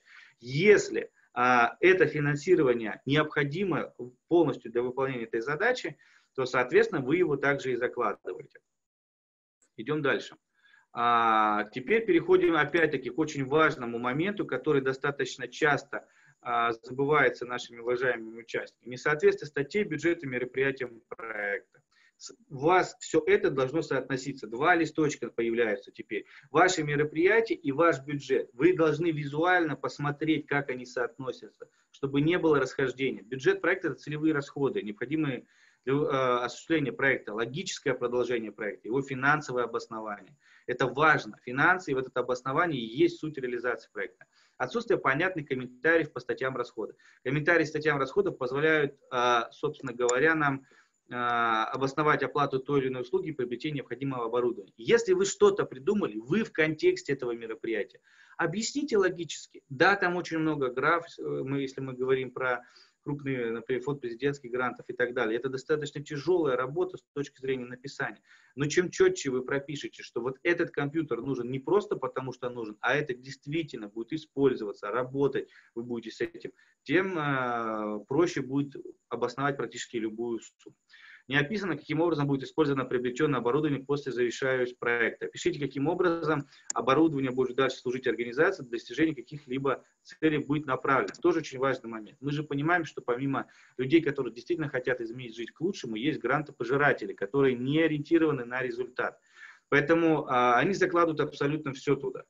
Покажите о том, что вот то, что вы сделали, ваш проект реализован, и это дальше будет служить на благо поставленной цели или других целей, которые вы можете в проекте там, достичь э, параллельно. А, завышенная стоимость услуг. Эксперт любой организации имеет доступ к информации в сети о стоимости услуг. Не стоит завышать позиции сметы. Когда мы говорим о негативном сценарии, мы не говорим о том, что мы э, придумываем э, стоимость из головы, либо добавляем к тому, что уже есть мы смотрим те позиции, которые э, стабильны во времени, или э, сразу смотрим ту цену, которая является максимальной. Но при этом мы понимаем, что эту цену мы можем обосновать ссылкой на сайт, ссылкой на магазин и так далее. То есть мы видим, что эта э, сумма действительно взята из открытых источников, и она имеет обоснование. Идем дальше. А, бюджет проекта. Значит, а, приступ каждые траты, расходы выделили первоочередные самые необходимые. Тоже все просто. Как только вы пойдете по своей карте, о том, чем я говорил, да, по карте своего маршрута, а, вы поймете, что, например, вы заложили основные моменты, да, а маленькие там дождевики, которые вообще вылетели из головы, а вы проводите мероприятие, у вас один из э, задач – это проведение общественных э, мероприятий на улице. Но вы забыли, что погодные условия. Вы начали проводить и уже там поняли, что почему не заложили дождевики. То есть некоторые вопросы, они возникают только тогда, когда вы начинаете идти. Вот вы мысленно пришли на мероприятие, теперь думаете, а что если? А если вот так? А что мне для этого понадобится? Очень многие организации закладывают свой бюджет приобретения оборудования или гонорары специалистов, которые не задействованы в проекте. Если это не соответствует целям и задачам, то градодатель будет рассматривать как ненужное раздувание бюджета. Вот, собственно говоря, о чем я говорю, что все, что вы просите, на что вы просите деньги, должно быть функционально э, востребовано в этом проекте, что вы будете это использовать. Не надо вам 10 компьютеров для реализации какого-то проекта, где хватит одного и так далее. А это еще большой, вы вызываете большой кредит недоверия с точки зрения вашей а, действительно, то есть вы хотите проблему решить или как-то на этом а, решить свои личные проблемы. Не включайте в бюджет непредвиденные расходы. Это свидетельство о недостаточной проработке проекта. Вот что значит непредвиденные расходы? Большинство проектов просчитываемо. Непредвиденные расходы – это удорожание, э, там, если какая-то техника или оборудование связано, привязано к курсу доллара, такая динамическая ценообразование имеется. Но даже здесь мы можем просчитать, мы можем всегда говорить о э, замещении там, на российские аналоги, если мы не можем использовать зарубежное оборудование и так далее. Здесь разные вариации. И чем больше этих вариаций вы предложите, тем больше для эксперта будет понятна ваша экспертность, что вы действительно в контексте проблем. А, итак, а, основные моменты, связанные с ошибками, а, так, секунду. Я проговорил. Очень важно. Так, э, я сейчас хочу э, остановить демонстрацию. Итак, демонстрация экрана остановлена. Подскажите мне, пожалуйста, дорогие участники э, и наши организаторы. Значит, э, важная составляющая а, при ошибках, как их превратить в преимущество. То, что вы сейчас наблюдали на, в презентации, еще раз говорю, это те проекты, которые не выиграли. И не выиграли они, как вы видите, не из-за того, что ваш проект недостаточно хорош, а очень много связано то, как вы его подали, как вы его просчитали, то, какие действительно а, акценты вы правильно расставили.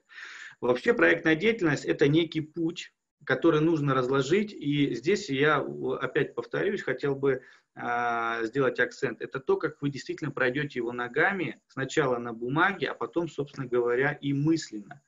А, важная составляющая при э, ошибках, э, это вот составляющая при проектировании, когда вы все держите в своей голове. Попробуйте поделитесь, поделиться этой идеей с вашими близкими, чтобы они дали вам обратную связь. А, актуальность, востребованность, а, они зададут те вопросы, которые, возможно, вас расстроят, или вы можете сказать, ну почему вам непонятно, это же очень очевидные вещи. Но, пожалуйста, а любого человека, который вам задает вопросы, и даже очень неудобные вопросы, всегда благодарить, потому что, возможно, именно так же подумает эксперт. А, давайте возможность почитать ваш проект, как я уже говорил, абсолютно людям, не а, понимающим суть вашего проекта. Если они его поняли, действительно загорелись идеей, и действительно сказали, да, это нужно, это хороший показатель. Если люди не понимают, чего вы хотите, и самое главное, как вы это будете реализовывать, это уже говорит о том, что нужно этот проект дорабатывать. Итак, уважаемые участники, появились ли у вас вопросы? То есть можно сейчас задать вопросы, которые мы с вами собственно говоря, и отработаем. А, так.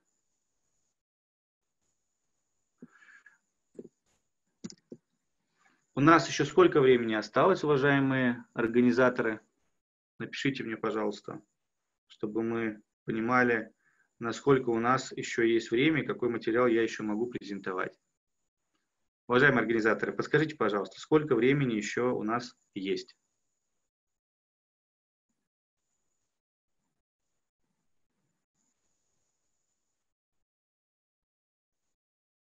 Пять минут, я понял. Итак, завершающая ситуация по поводу ошибок. Значит, а, есть э, очень огромное количество сайтов, которые публикуют уже подборку готовых грантовых, подборку грантовых конкурсов. А, значит, каждый грантовый конкурс имеет свою специфику. Попробуйте э, свой проект, если вы подаете, вы действительно понимаете, что цели и задачи, которые вы поставили, они важны, нужны, и самое главное, они принесут пользу обществу, вы сможете также, как вот, э, когда говорят, я только на социальное значит, ориентируюсь, вы должны понимать, что в проекте вы развиваетесь. И для экспертов тоже важно понимать, что вами движет. То есть мотивация команды, ваша мотивация, она должна быть э, максимально отражена. Это важные вещи, связанные с пониманием, для чего этот человек делает. Потому что все мы люди, а, да, мы хотим а, делать добро, но при этом мы должны, ну как бы, мы должны понимать, для чего нам это нужно. То есть это обучение, это развитие, это расширение какой-то а, там сети помощи и так далее. То есть это нормально, когда мы видим внутреннюю мотивацию каждого члена команды. Очень классно, когда я смотрю видеовизитки. Вот, кстати, видеовизитки команды, когда я вижу лица.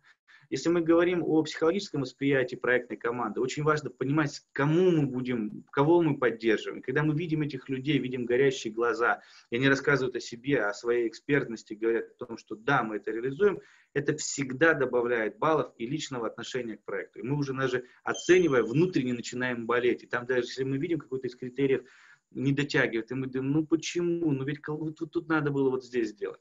Вот это и добавляет. Будьте более открытыми, не стесняйтесь говорить о том, что вы хотите. Но и в целом я желаю вам успехов, желаю всего самого наилучшего, побед в, а, скажем так, в вашей проектной деятельности. Всего хорошего.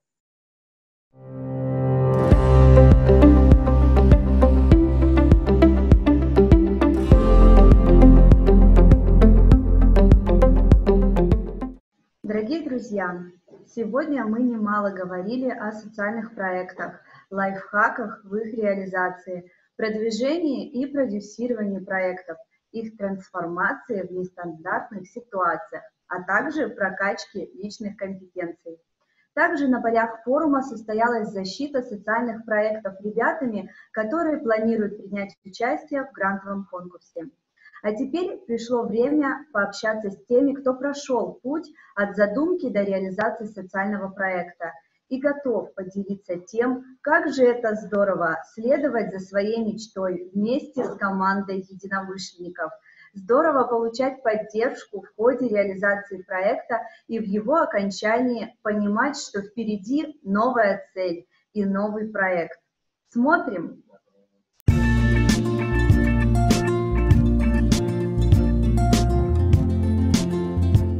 занимались театром сначала в одном, в одном частном театре просто как артисты. Потом, э, три года назад, мы решили основать свой частный независимый театр. Назвали его Центр современной драматургии.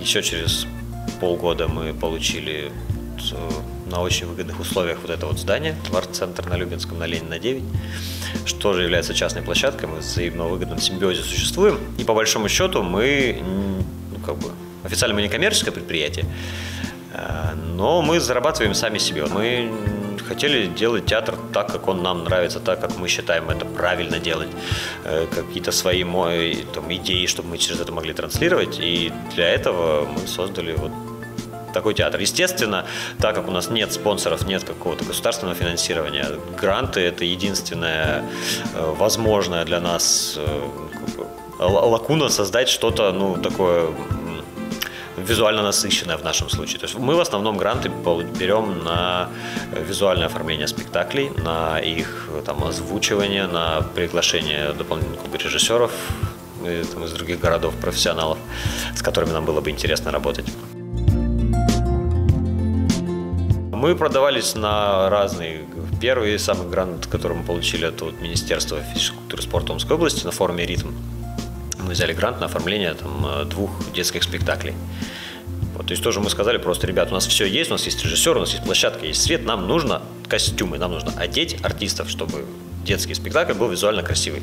Вот на это нам нужны деньги. Вот, пожалуйста, смета, вот столько стоит один костюм, примерно, ты -ты -ты -ты -ты -ты, вот, пожалуйста. Вот.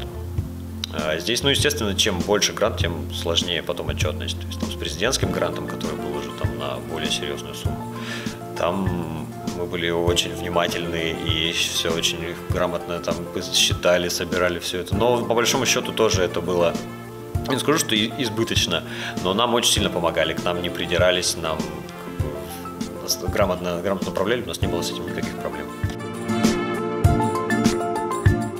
Мы уникальны ну, своей командой. То есть то, мы, мы делаем, что бы мы ни взяли, мы делаем это так, как э, нам кажется правильным, там, так, как мы это видим, так, как мы это хотим рассказать. У нас есть огромная наша зрительская комьюнити, которая нас поддерживает, которая нам помогает э, с материальной точки зрения, там кто-то нам привозит, э, помогает там лесом, например, если человек занимается, он может там что-то подбросить для декорации, там, или, или э, по цене заниженной, или вообще там где-то бесплатно как-то подвести.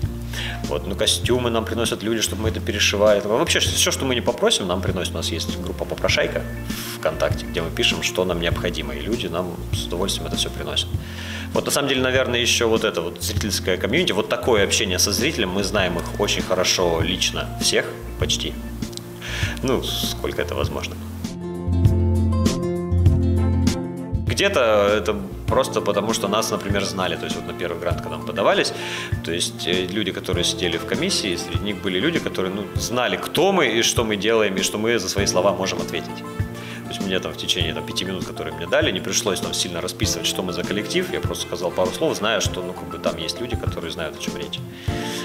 Вот. Если говорить о президентском, например, гранте, то там мы просто угадались темой, наверное. То есть мы взяли грант на постановку в Омске спектакля по Достоевскому э, для бесов. Мы брали, значит, поднимали какие-то ну, там, э, темы, которые нам интересны, которые, видимо, были очень тождественные ну, на то время для тех людей, которые гранты выдавали. Вообще во всем, когда люди что-то создают, если мы говорим о творчестве, мне кажется, самое главное – это делать это честно. Если люди делают это честно, во-первых, это сразу видно, а если я вижу, что люди делают дело честно, им нужно немного помочь, я могу это сделать. Типа, как бы, почему бы мне не помочь? Это же как бы, тоже логично. Гранты выдают люди.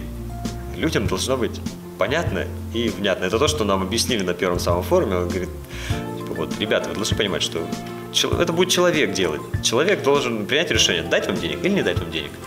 Для того, чтобы принять решение, ему нужно, ну, как бы, ему нужно внятно объяснить. Представляете себе, что вы разговариваете с конкретным человеком, причем этот человек даже, он вам предрасположен, вам не нужно ему что-то доказывать.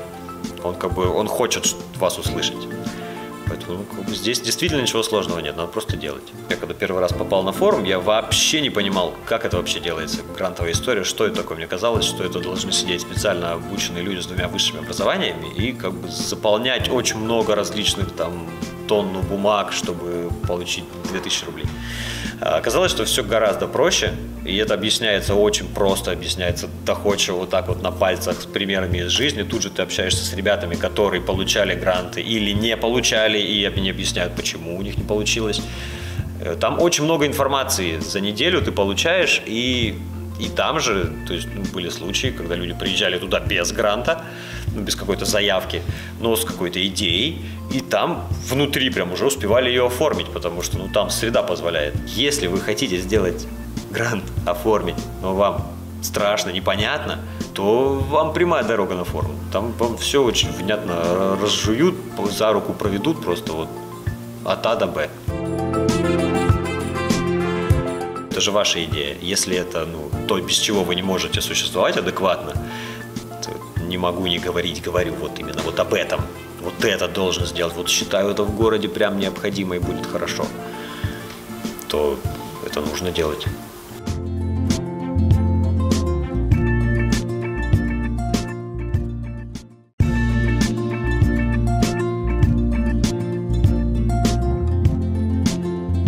Все очень просто. С самого детства я мечтала стать врачом, и в студенчестве я решила помочь не напрямую, как врач-офтальмолог, а опосредованно людям с низким зрением, а, разработав специальную гимнастику для глаз.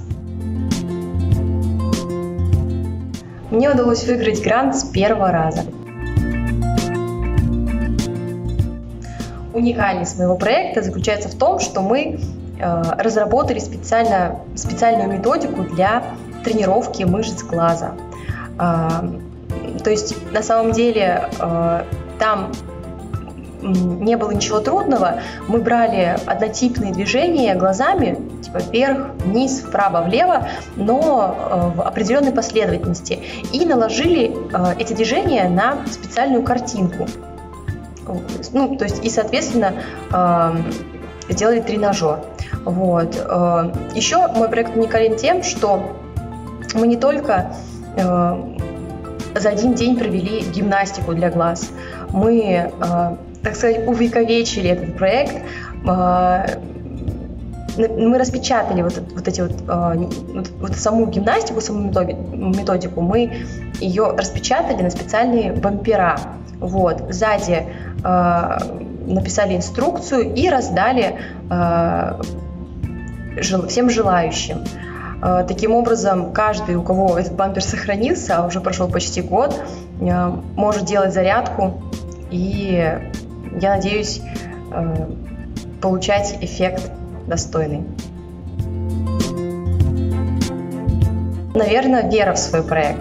Когда я поехала на форум «Ритм», эм, у меня была просто идея, а форум помог мне вдохнуть жизнь в него, что ли. То есть когда ты не один, это здорово. У нас были прекрасные наставники. Также к нам приезжал Барри Алибасов. И я к нему лично подошла и объяснила суть своего проекта. Он тоже подсказал мне несколько идей, которые на самом деле ими, как раз таки ими я и пользовалась э, в реализации проекта. Самое главное – это видеть картинку, видеть именно то, что ты хочешь сделать. Потому что э, если ты не понимаешь, что ты хочешь, вот, вот прям по порядку, если ты не понимаешь, что тебе там нужно три человека здесь, чтобы они делали именно это, это, это, или есть какие-то проблемы в твоем видении проекта, оно никогда не получится. Наверное, самое сложное это как раз-таки социум. Было очень тяжело договариваться с людьми. Было не тяжело печатать э, бампера, с тренажером для глаз, ручки для волонтеров, футболки. Было ничего, не тяжело делать именно это. Было тяжело договариваться с образовательными организациями. Было тяжело, тяжело находить волонтеров. Но все это выполнимо. А, к сожалению, у меня не было опыта в таком плане, поэтому мне, конечно, пришлось тяжело. Но э, Министерство спорта э, оказывало помощь и, в принципе, э, волонтеры-медики, которые мне по итогу тоже помогли. Если у тебя есть идея какая-то, которую ты хочешь реализовать, обязательно ее нужно реализовывать. И чем сильнее твое желание, тем она правда быстрее может э, получиться. И я думаю, что вообще форумы, какие-то такие молодежные, это очень-очень хорошая платформа для того, чтобы реализовать свои возможности. Потому что у нас есть время, у нас есть возможности, мы молодые и креативные, мы можем перегнуть горы на самом деле. Когда я год назад одна реализовала, одна серьезно э, реализовала проект на полторы тысячи человек, я не поверила. Но я верила в свой проект, и поэтому все получилось. Поэтому вперед, это здорово.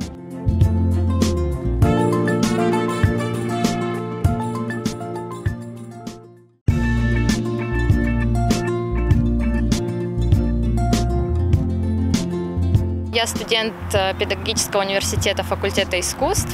Все началось с того, что появилась э, потребность творить где-то дополнительно вне университета и вне дома, так как дома это мало, ну, очень сложно реализовать. Возникло желание в создании какого-то нового пространства, или если говорить о последнем проекте, то в создании э, массового творческого мероприятия. Собственно, возникла потребность, поэтому способом а, реализации были как раз грантовые конкурсы. Выиграть грант получилось со второго раза. А, первый раз я пробовалась на форуме «Ритм». Там э, мой проект э, наполняли содержанием очень качественным, ну, благодаря экспертам это получилось сделать. И уже на фестивале Таврида Арт мы выиграли свой первый, два своих первых гранта сразу. том году мы реализовали проект «Твой Рим. Открытая мастерская». А, это творческое пространство для детей и молодежи, где каждый желающий мог прийти и заняться творчеством. Там мы проводили мастер-классы, творческие курсы, занимались с детьми и со взрослыми. Буквально полгода назад мы выиграли еще третий грант на создание фестиваля, фестиваль «Воздух творчества», который проводился совсем вот недавно. Работа с экспертами, очень вот активная, которая была как раз на форуме «Ритм». А, ну и поддержка творческой команды. Человек 15, и все это в основном студенты, друзья, ну такая творческая компания. Реализовать. Написать грант и выиграть э, его не так сложно, как потом действительно осуществить это в жизни. получилось так, что когда ты планируешь, ты планируешь все поверхностно, не углубляешься, а когда ты уже сталкиваешься с этим в жизни, все становится совсем иначе. А, ну, тут уже как-то своими силами справлялись, э, с помощью каких-то знакомых, может, что-то искали. Ну, друзья, команда помогала всегда. Участие в форумах и фестивалях различных, это всегда э, ты получаешь опыт организатора. Ты смотришь изнутри, как создается какое-то мероприятие, как это организовывается, и этот опыт уже можно перенять и использовать вот в своей проектной деятельности. Первую очередь это дает э, знакомство, расширяется круг общения, вот собирается как раз вот этот костяк, команда. Это для меня сам, самое главное в этих всех проектах, которые мы а, проводили, реализовывали. А, ну и организованность, э, воспитание себя, самодисциплина, это тоже очень здорово и полезно.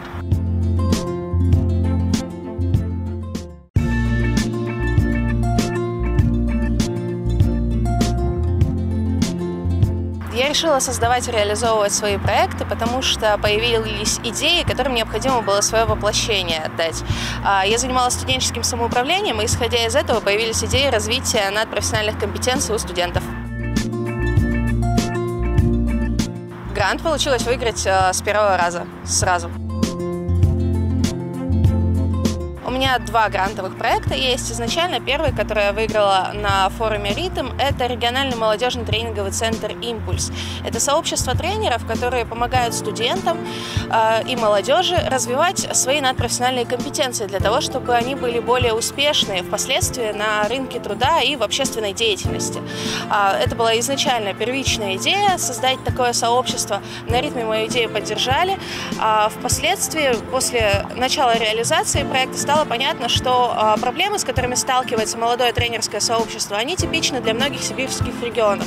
И в 2019 году я участвовала в всероссийском конкурсе грантовом молодежных инициатив для физических лиц и выиграла там грант на интенсив для тренеров неформального образования Сибирского федерального округа. Мне помогло выиграть грант в первую очередь моя команда, которая в меня верила, которая поддерживала э, нашу общую идею и развивала ее. И сама атмосфера форума «Ритм», люди, которых э, мы там встретили, которые помогали писать проект, оргкомитет, который всегда поддерживал. И вот это незабываемое ощущение, когда у тебя есть какая-то мечта, и действительно твою мечту понимают, поддерживают и дают возможность ей развиваться. Самое сложное в социальном проектировании, наверное,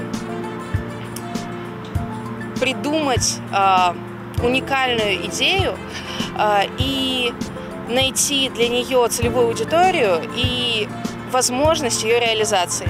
В принципе, в самом социальном проектировании, написании проектов ничего сложного нет. Свои авторские проекты стоит придумывать и реализовывать, а, так как окружающий мир зависит от нас.